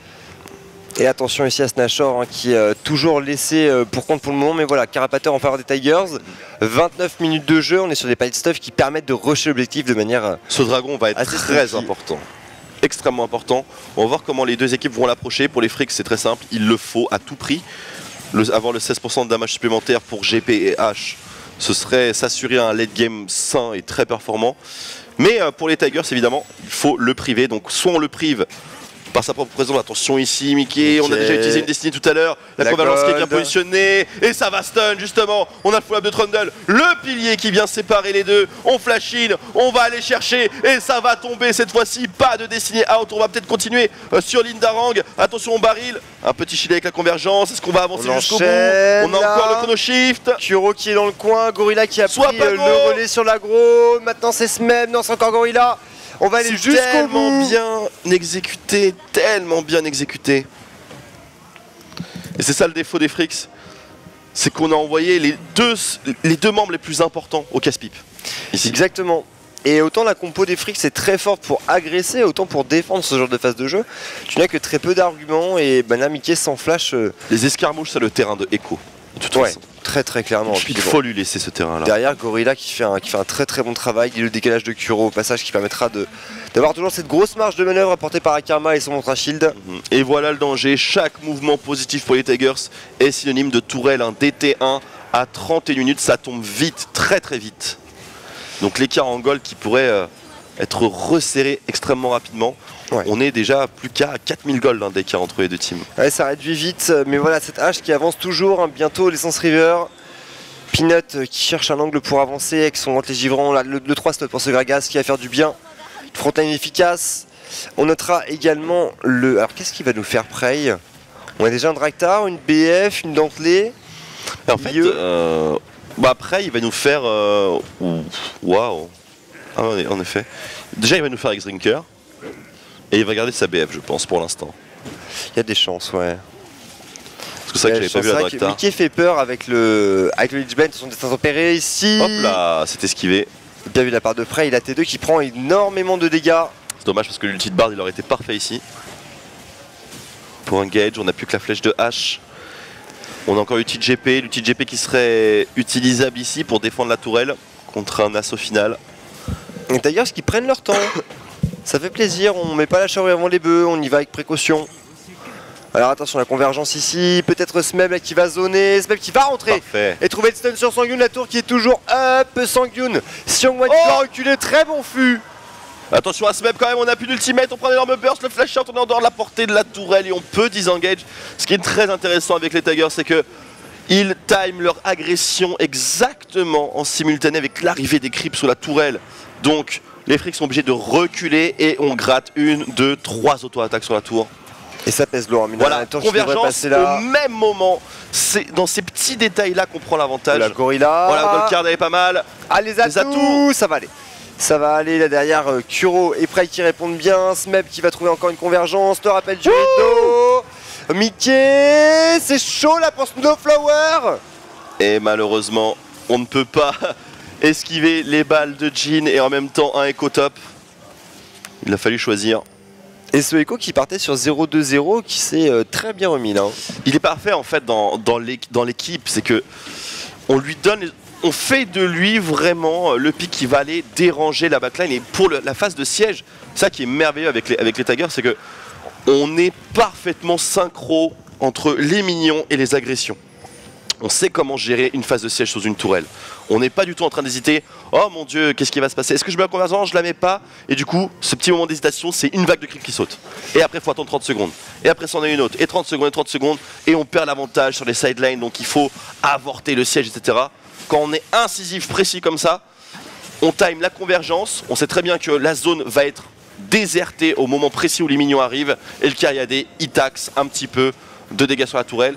Et le jungler adverse ne peut pas engage au moment où son équipe recule. C'est pas possible. Ouais, c'est ça exactement. hein. Donc c'est juste trop bien exécuté. Et là pour le coup, les Tigers qui remontent euh, sur le compteur des objectifs avec euh, bien seulement deux tours de retard maintenant, trois dragons enfin deux dragons d'avance pardon, et euh, derrière des stymisations très intéressantes, notamment l'ange gardien pour Smeb qui va pouvoir se permettre toutes les excentricités Ça va être en encore pire. maintenant. hein. Ça va être encore pire. Et là, Sangyun.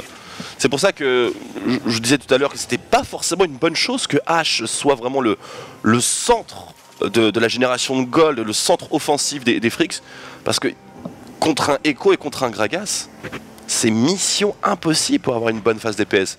Parce que Sang- Sangyun, lui, il n'est pas comme Prey. Il a pas de karma, il a pas de Gragas avec lui. Il a un Bard. Et un Bard, ça aide pas beaucoup. Ça pile pas grand chose, effectivement. Après, il y a Mickey qui pourrait, avec une gold card, calmer peut-être un petit peu les ardeurs euh, du, euh, du premier au classement MVP. C'est vrai, mais si on joue dans un format défensif, là c'est Prey qui détruit tout le monde. Ouais, effectivement, la Peanut qui va se faire catch ici, mais voilà, ça reste un Gragas, c'est très solide. Un petit slow et s'en a là du côté de Snowflower. Medjay pour Smeb. Le Darkseid qui était full stack. hein. C'est un coup qui fait très mal, hein, en effet. Et là pour le coup, qui est parfaitement immortel. Enfin, doublement immortel, pardon. Ouais, doublement là, clairement. C'est-à-dire il est immortel, mais il, a quand même, il est quand même deux fois. Bah, c'est-à-dire que, ouais, il se fait choper, Ange Gardien. Il se refait choper, l'ulti derrière, plus le flash. Et là, on est sur un Echo qui euh, bénéficie de 3200 HP. Donc, même si la hache de Sangyun est bien dans la game, je vois pas comment est-ce qu'il va arriver à, à faire tomber ce Echo. Surtout qu'il a la ténacité, il a de la CTR, il a tout ce qu'il lui faut. Même euh, la Deadman's Plate. Attention, rappel du rideau sur Mickey. c'est- très bien joué. Là, c'est un autre forme de Adèle Armal Ah, l'ulti On le GP, le Parce qu'on va bon bien- Zonia, le roux et le Q-spell de Kuro qui fait le taf ici derrière même qui cristallise l'attention de la backline des Fricks. Mais voilà, ça tank ce Echo. Exactement, il va nous falloir un coup de génie de Lindarang si on veut arriver à dépush cet assaut. Seul désavantage pour les Tigers, c'est qu'on n'a pas de baron. Donc en théorie, on n'a pas de gros minions. Le combo de baril, ça passe, mais Ah, tous les minions ne sont pas là. tombés. Très difficile pour Snowflower, mais un bon ultimate ici qui paralyse tout le monde. Mais Smeb est encore présent. Smeb qui perturbe tout le monde dans la backline. Et la tourelle qui tombe. Et finalement, les Tigers qui ouvrent le terrain. Et Prey qui exécute justement le bard à max range. La floraison mortelle qui ne touchera personne. Illimiter down, on disengage. Attention au barrel. Bon réflexe ici. Bah, ça va, les limiteurs qui récupèrent les Tigers qui, qui come back, hein. qui enfin euh, reprennent, euh, reprennent du poil de la bête, égalité en termes de goal, mais voilà, ces dragons qui vont peser lourd dans la balance, surtout cet inhibiteur qui permettrait d'ouvrir les portes du Nashor pour les Tigers. Il y a, il y a juste un. C'est un meilleur jeu. C'est un meilleur jeu, vraiment, pour, de la part des Tigers. C'est-à-dire que les Freaks n'ont pas à rougir, mais Voilà, le catch. ils sont pas prêts. Non, ils sont pas prêts. Ils sont pas prêts. Et on tout. le voit ici, hein. Sangyun a petite erreur, trop. qui coûte cher, et ça c'est Nashor. C'est l'agression permanente des Tigers. c'est- une map qui va continuer sur Xiongwan. Le jungler raisonné. Le reste de l'équipe voilà, va prendre le Nash. C'est même qui va rester en électron libre. Il peut bloquer facilement 2-3 personnes à lui tout seul. Et même avec la composition euh, lente des Tigers, le baron sera effectuable sans aucune perturbation. Voilà. Prey, le petit critique qui va bien. Et le Nashor appliqué en speed push par Smeb ici. Ils jouent trop bien avec la pression de leur top laner, les Tigers. Ah, c'est... Ils ont vraiment un très bon collectif. hein. le, le- le pack est vraiment complet, il y a tout ce qu'il faut. Enfin, chacun des joueurs peut être playmaker. Ouais. J'ai même jusqu'à dire chacun des joueurs est playmaker. En général, même Gorilla, on en parlait tout à l'heure, le flash euh, petit chapeau de Lubeck qui, qui passait bien. Une petite réserve quand même sur Prey qui, euh, je trouve, est vachement bien installé dans cette optique de carrière des supports. Oui, Je le trouve très bon euh, dessus. il est, il est excellent, c'est vrai que son cœur de jeu, c'est vrai que sur des champions un petit peu plus euh, hyper carry, enfin, de toute façon, chez, chez Tigers, euh, c'est Smeb hein, le fer de lance. Voilà, on a un Uni version ultime en fait. C'est-à-dire que, bon, si vous connaissez pas Smeb, c'est Uni en mieux. Ouais, c'est ça. Voilà. C'est le Uni C'est V2. Uni en mieux. C'est vraiment le, c'est vraiment la description la plus précise qu'on puisse faire de, de ce. Une grosse rivalité d'ailleurs entre les deux joueurs. hein. Bien sûr, et tout le temps remporté par Smeb. Ouais. So far. En fait, il faut savoir que Uni, euh, pour la petite histoire, Ouais. était euh, en Corée donc considéré comme un très mauvais top laner en fait. C'est fait. euh, il a un peu suivi euh, Comme le bashing de, de ses pros, de ses pros, Rainover également. Et c'est vrai que du coup cet exode du côté de, du côté de l'Europe puis des- de l'Amérique du Nord, eh bien c'était un petit peu pour rendre la, la monnaie de leur pièce à ce top laner coréen. Sauf que le problème c'est que pour Uni, bah, il est excellent, mais il n'est pas encore assez fort. Il n'est pas du tout assez fort et on a très bien vu au World Championship précédent, les match-up top lane, c'était. C'était trop dur. c'était beaucoup trop dur. Peu importe le match-up, c'était trop dur. Allez, la T3 qui tombe. Là, c'est un cas d'école hein, pour les Tigers. C'est le push final. On attend que l'hélicoptère s'en aille. On Ouais, continue ce limiteur. On avance au rythme des convergences de Smeb. Exactement, et semaine encore qui cristallise l'attention de 4 joueurs qui va claquer un ulti peut-être un petit peu Peanut, peu tôt là. C'est en difficulté, Peanut il pourrait tomber ici peut-être là le très Oh là shield Mais d'énormes boucliers, il a une autre barre de points de vie maintenant. Mickey Oh là là, maintenant c'est Prey et Smeb euh, qui font le travail dans la front line. Même Gorilla s'est transformé en Trundle top lane, mesdames et messieurs. La Rock Tigers qui. Voilà, c'est- c'est une démonstration épinote qui a tenu le feu nourri de 4 personnes et qui n'est pas tombé. Merci les boucliers incommensurables qu'il a reçus. Ouais, ouais, à un moment donné, il avait 60% de sa vie, c'était des boucliers. C'est ça Et c'est un Gragas C'est pas un Heimerdinger Non non on est, on est vraiment voilà, sur euh, une un utilitaire Oh. à toute épreuve, allez on suscite massivement du côté des Tigers qui euh, bah voilà 2-0 net, propre et sans bavure Rock Tigers qui confirme leur position d'ogre en LCK. Exactement, et on est à, on va finir cette saison d'ailleurs, puisque c'était leur dernier match, à plus 20 points. Plus 20 points donc. Alors le, le- le classement est compté de la manière suivante, c'est-à-dire on prend les games que vous faites et on fait la différence entre win et lose, hein, tout Mhm. simplement, et on compte le nombre de points. Donc vous pouvez avoir des plus 22 ou des moins 22 hein, en théorie. Euh, mais là ici on est à plus 20 donc puisqu'on a rajouté deux wins et donc officiellement eh bien les Rocks Tigers sont premiers. Voilà, Ouais. de ce speed de LCK. Et officiellement, effectivement, deuxième, enfin, position de dauphin donc Ça pour. SKT, qui euh, va jouer juste après vis-à-vis de Longzhu, enfin contre Longzhu. Et bon, là, on a vu les Rocks hein, euh, dans leur style le plus pur sur ce BO3. Agressif, petite draft originale euh, qui fait euh, toujours plaisir avec ce petit pocket pick sur Panthéon. Une deuxième draft peut-être un petit peu plus en contrôle au niveau, de, au niveau des répartitions des ressources, voilà, double menace, Mhm. une grosse front lane. On s'est fait quelques frayeurs en début de partie, mais euh, derrière la Turtle a été de rigueur.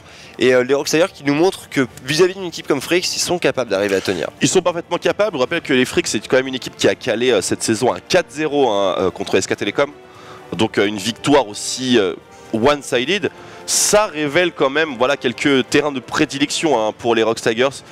Quelques facilités que les euh, SKT n'ont pas. C'est vrai que la pression mise par les Freaks est très soutenue et c'est un petit peu avec les mêmes stratégies qu'ils arrivent à voilà, détrôner des équipes comme SKT. C'est voilà, des combos simples, sains, avec des, écu- des- des exécutions qui sont aisées en fait. C'est-à-dire qu'on va pas aller choper le combo de la mort euh, Tamken chez Karim, euh, je sais pas quoi. Si on n'est pas sûr de savoir le jouer, là c'est de la hache, c'est du bar, c'est du TF.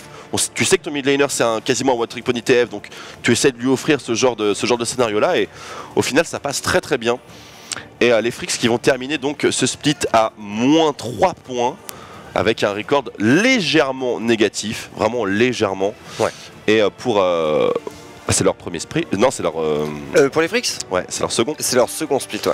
Pour leur première saison, on va dire. Ils font, euh, ils font quand même une très très bonne perf les Freaks. C'est un excellent résultat. Pas de hein. souci à ce niveau-là. finir 5ème, 6ème. Ils sont déjà en playoff. Donc euh, pour une première saison, C'est c'est une grosse victoire. Hein. Puis ils nous avaient sorti quand un même excellent. spring split. euh, ils ont fait la remontée de l'enfer. Ah, ils étaient tout en bas. Je sais plus combien de victoires d'affilée pendant que Smeb est du MVP. Je crois qu'ils ont fait 8. C'était euh, c'était 8 ou 9, un truc, Ouais, comme, un ça, truc ouais. comme ça. Ils sont vraiment remontés de nulle part. Et bon, pour le coup, ça n'aura pas été suffisant contre les, les Tigers. Pour moi, les Tigers, c'est des Freaks V2. hein. Oui. Oui. Oui, oui, c'est vrai. C'est la version ultime en fait. C'est-à-dire qu'ils sont là, ils, ils sont vraiment présents, ils ont vraiment de très jolies forces, des drafts intelligents, euh, une line-up un peu dynamique aussi qui, où il y, a- où il y a quelques roulements.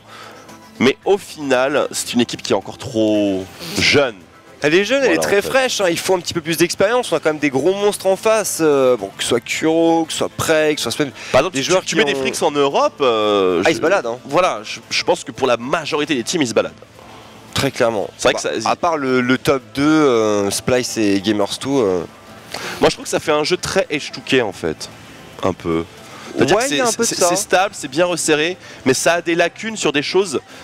En fait, ils n'ont pas des lacunes dans le sens où ils ne font pas ce qu'il faut, c'est qu'ils ne font pas ce qu'il faut assez rapidement. Ouais, il manque encore ce petit Voilà. degré d'application, d'exécution qui est, qui est un peu faiblichon, bah, qui est souvent. euh, C'est juste du pré-shot des- en fait, ils voient pas assez loin. Ouais. En, en gros, plus on avance dans le niveau compétitif League of Legends, plus on se rend compte que voilà, il n'y a pas qu'une similarité avec les échecs en termes de Hello, mais en termes de strat aussi, parce que tu vois le mouvement qui est en train d'effectuer, tu te dis, ok, donc lui il va faire ça, il va utiliser son téléport, donc il va être vulnérable pendant 5 minutes, mais du coup il va passer niveau 6, il va avoir ce stuff là, donc il y a un truc à prendre ici avec ce push là sur cette wave, avec ce dragon, avec cette tour, avec ce pot qui est. Enfin, c'est vraiment que du pré-shot et c'est vrai que c'est un petit peu comme l'affinité avec la force dans Star Wars.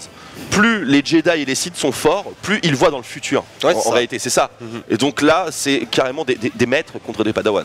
Il y a, il y a un- il y a un peu cette idée-là, c'est vrai, cette opposition. Mais attention, euh, les équipe Padawans, ils défoncent des fois. équipe jeune. De toute façon, les équipes jeunes en Corée, euh, que ce soit euh, Africa Afrique, que ce soit MVP ou Ever, sont, euh, sont très bonnes. hein. extrêmement, euh, extrêmement chauds. Et euh, dans tous les cas, pour les Freaks, ça laisse présager d'un spring split prochain et des playoffs qui vont être très intéressants.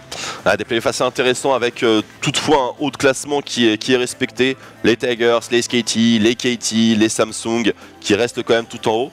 Euh, quand- qui est quand même vachement tombé. Jenner qui est vachement tombé, Ouais. bah en fait notamment vis-à-vis de Samsung qui a repris sa place au classement. On a échangé un petit peu, les Freaks qui restent dans le standard du, du Spring Split, euh, voilà milieu haut de tableau. Voilà, mais on a le noyau dur. Rox, SKT, KT. Voilà, Voilà, ce sont les trois meilleures équipes coréennes avec une mention spéciale pour Samsung bien sûr, euh, qui pourrait être capable de, de créer, de créer des surprises. Mais en soi, voilà, donc on est déjà en... Alors, on est en finale hein, pour les Rox Tigers de playoff. On est en finale de playoff et on est qualifié pour les Worlds. Et on est qualifié pour les Worlds. Ça, ça fait oui, plaisir. bien sûr. On en parlait justement en début de ce live. La première équipe qualifiée aux Worlds sont les Rox Tigers. Exactement. Du Eh, coup, c'est sont- terminé pour ce premier BO. On va enchaîner sur les interviews, petite page de publicité. Si je ne m'abuse, on reprend le deuxième BO à 13h, puisque bah voilà, ça fonctionne comme ça en Corée. Du coup, on va vous laisser pendant une petite heure. Je Oh crois non, que c'était OGN. Non, ça enchaîne avec OGN. Euh, il me semble que pour tous Ah les, ouais, pour euh, pour tous, ouais, c'est Ça nous a 13h. Ça euh, avant-hier, c'est pour ça j'ai juste espoir. Ah d'accord, ok. Ben, Bon, peut-être, que, je me plante. Dans tous les cas, on vous laisse interviewer la page de pub. On revient, on vous tiendra informé suivant euh, l'heure du deuxième BO, qui sera bien sûr SKT contre Longzhou. A tout de suite.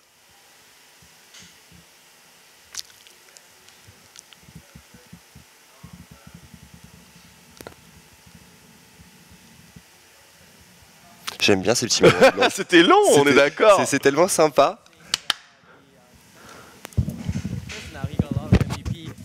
First round, but maybe the next season I might I might get into the uh, top MVP.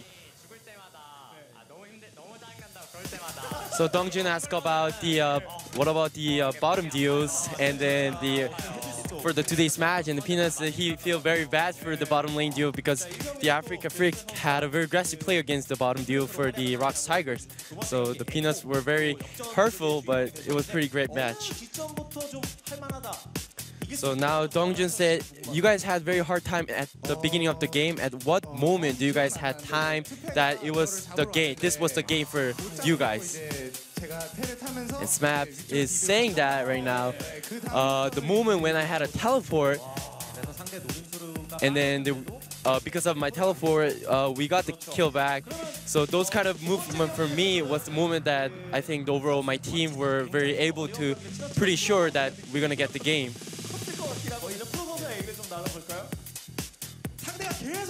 So now Dongjun is talking to Kuro about today the Pantheon pick. It was very surprising.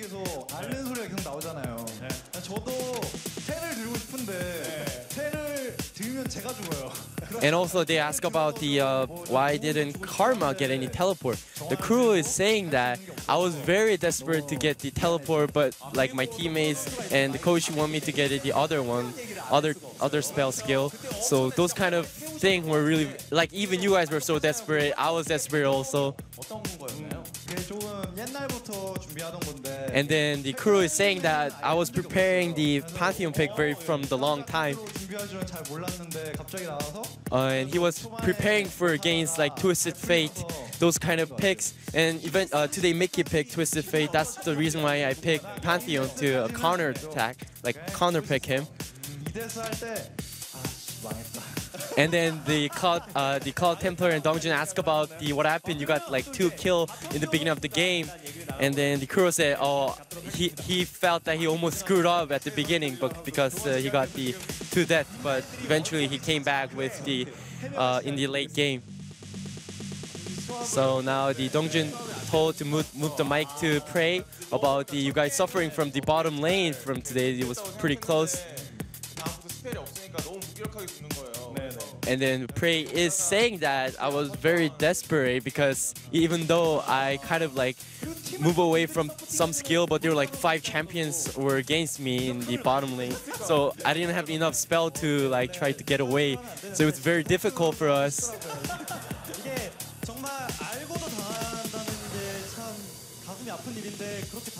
and Gorilla is saying that even though the even though it was we already knew that we are gonna be like gonna get killed by the other opponent. That's the that's, that's the one fact that we're very hurtful because there's keep they keep coming to the bottom lane. I don't know. Uh, he didn't know. And then he feel like he's like, why didn't Peanuts like came to help us? They're talking about those kind of things.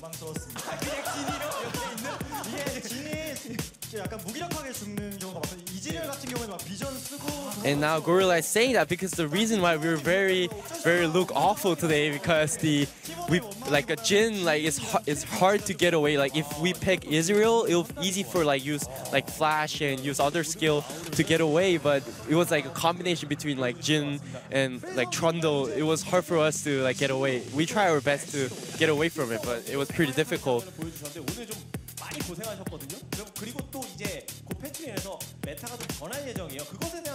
So now Dongjin asked about the new meta from the um, maybe after the like final game for you guys because there's some new patch going on. So what do you think about that? And Prey said that he always feel bad for like using Ash or Jin, but these days the meta like until now is good to pick Ash and Jin, and that's the reason why I picked also Jin today. But I I, I feel very uh, like I feel very bad today because like I got a lot of like I got a lot of killed by other opponent. So so he's saying that even the new meta came up, like if the other like AD carry champions can be very useful, then I would definitely change my character. But until now, I think the Jin's the best, best character that I can use.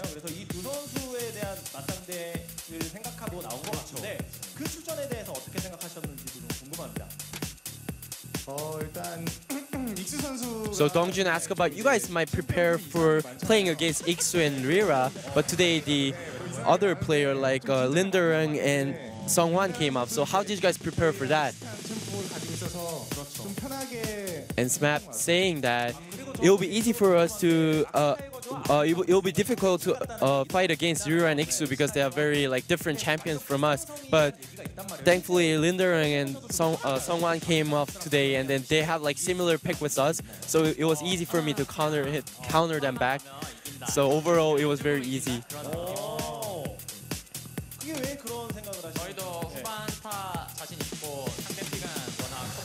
So the Dongjun and the Cloud Templar asked about the um, overall how the picks were going on.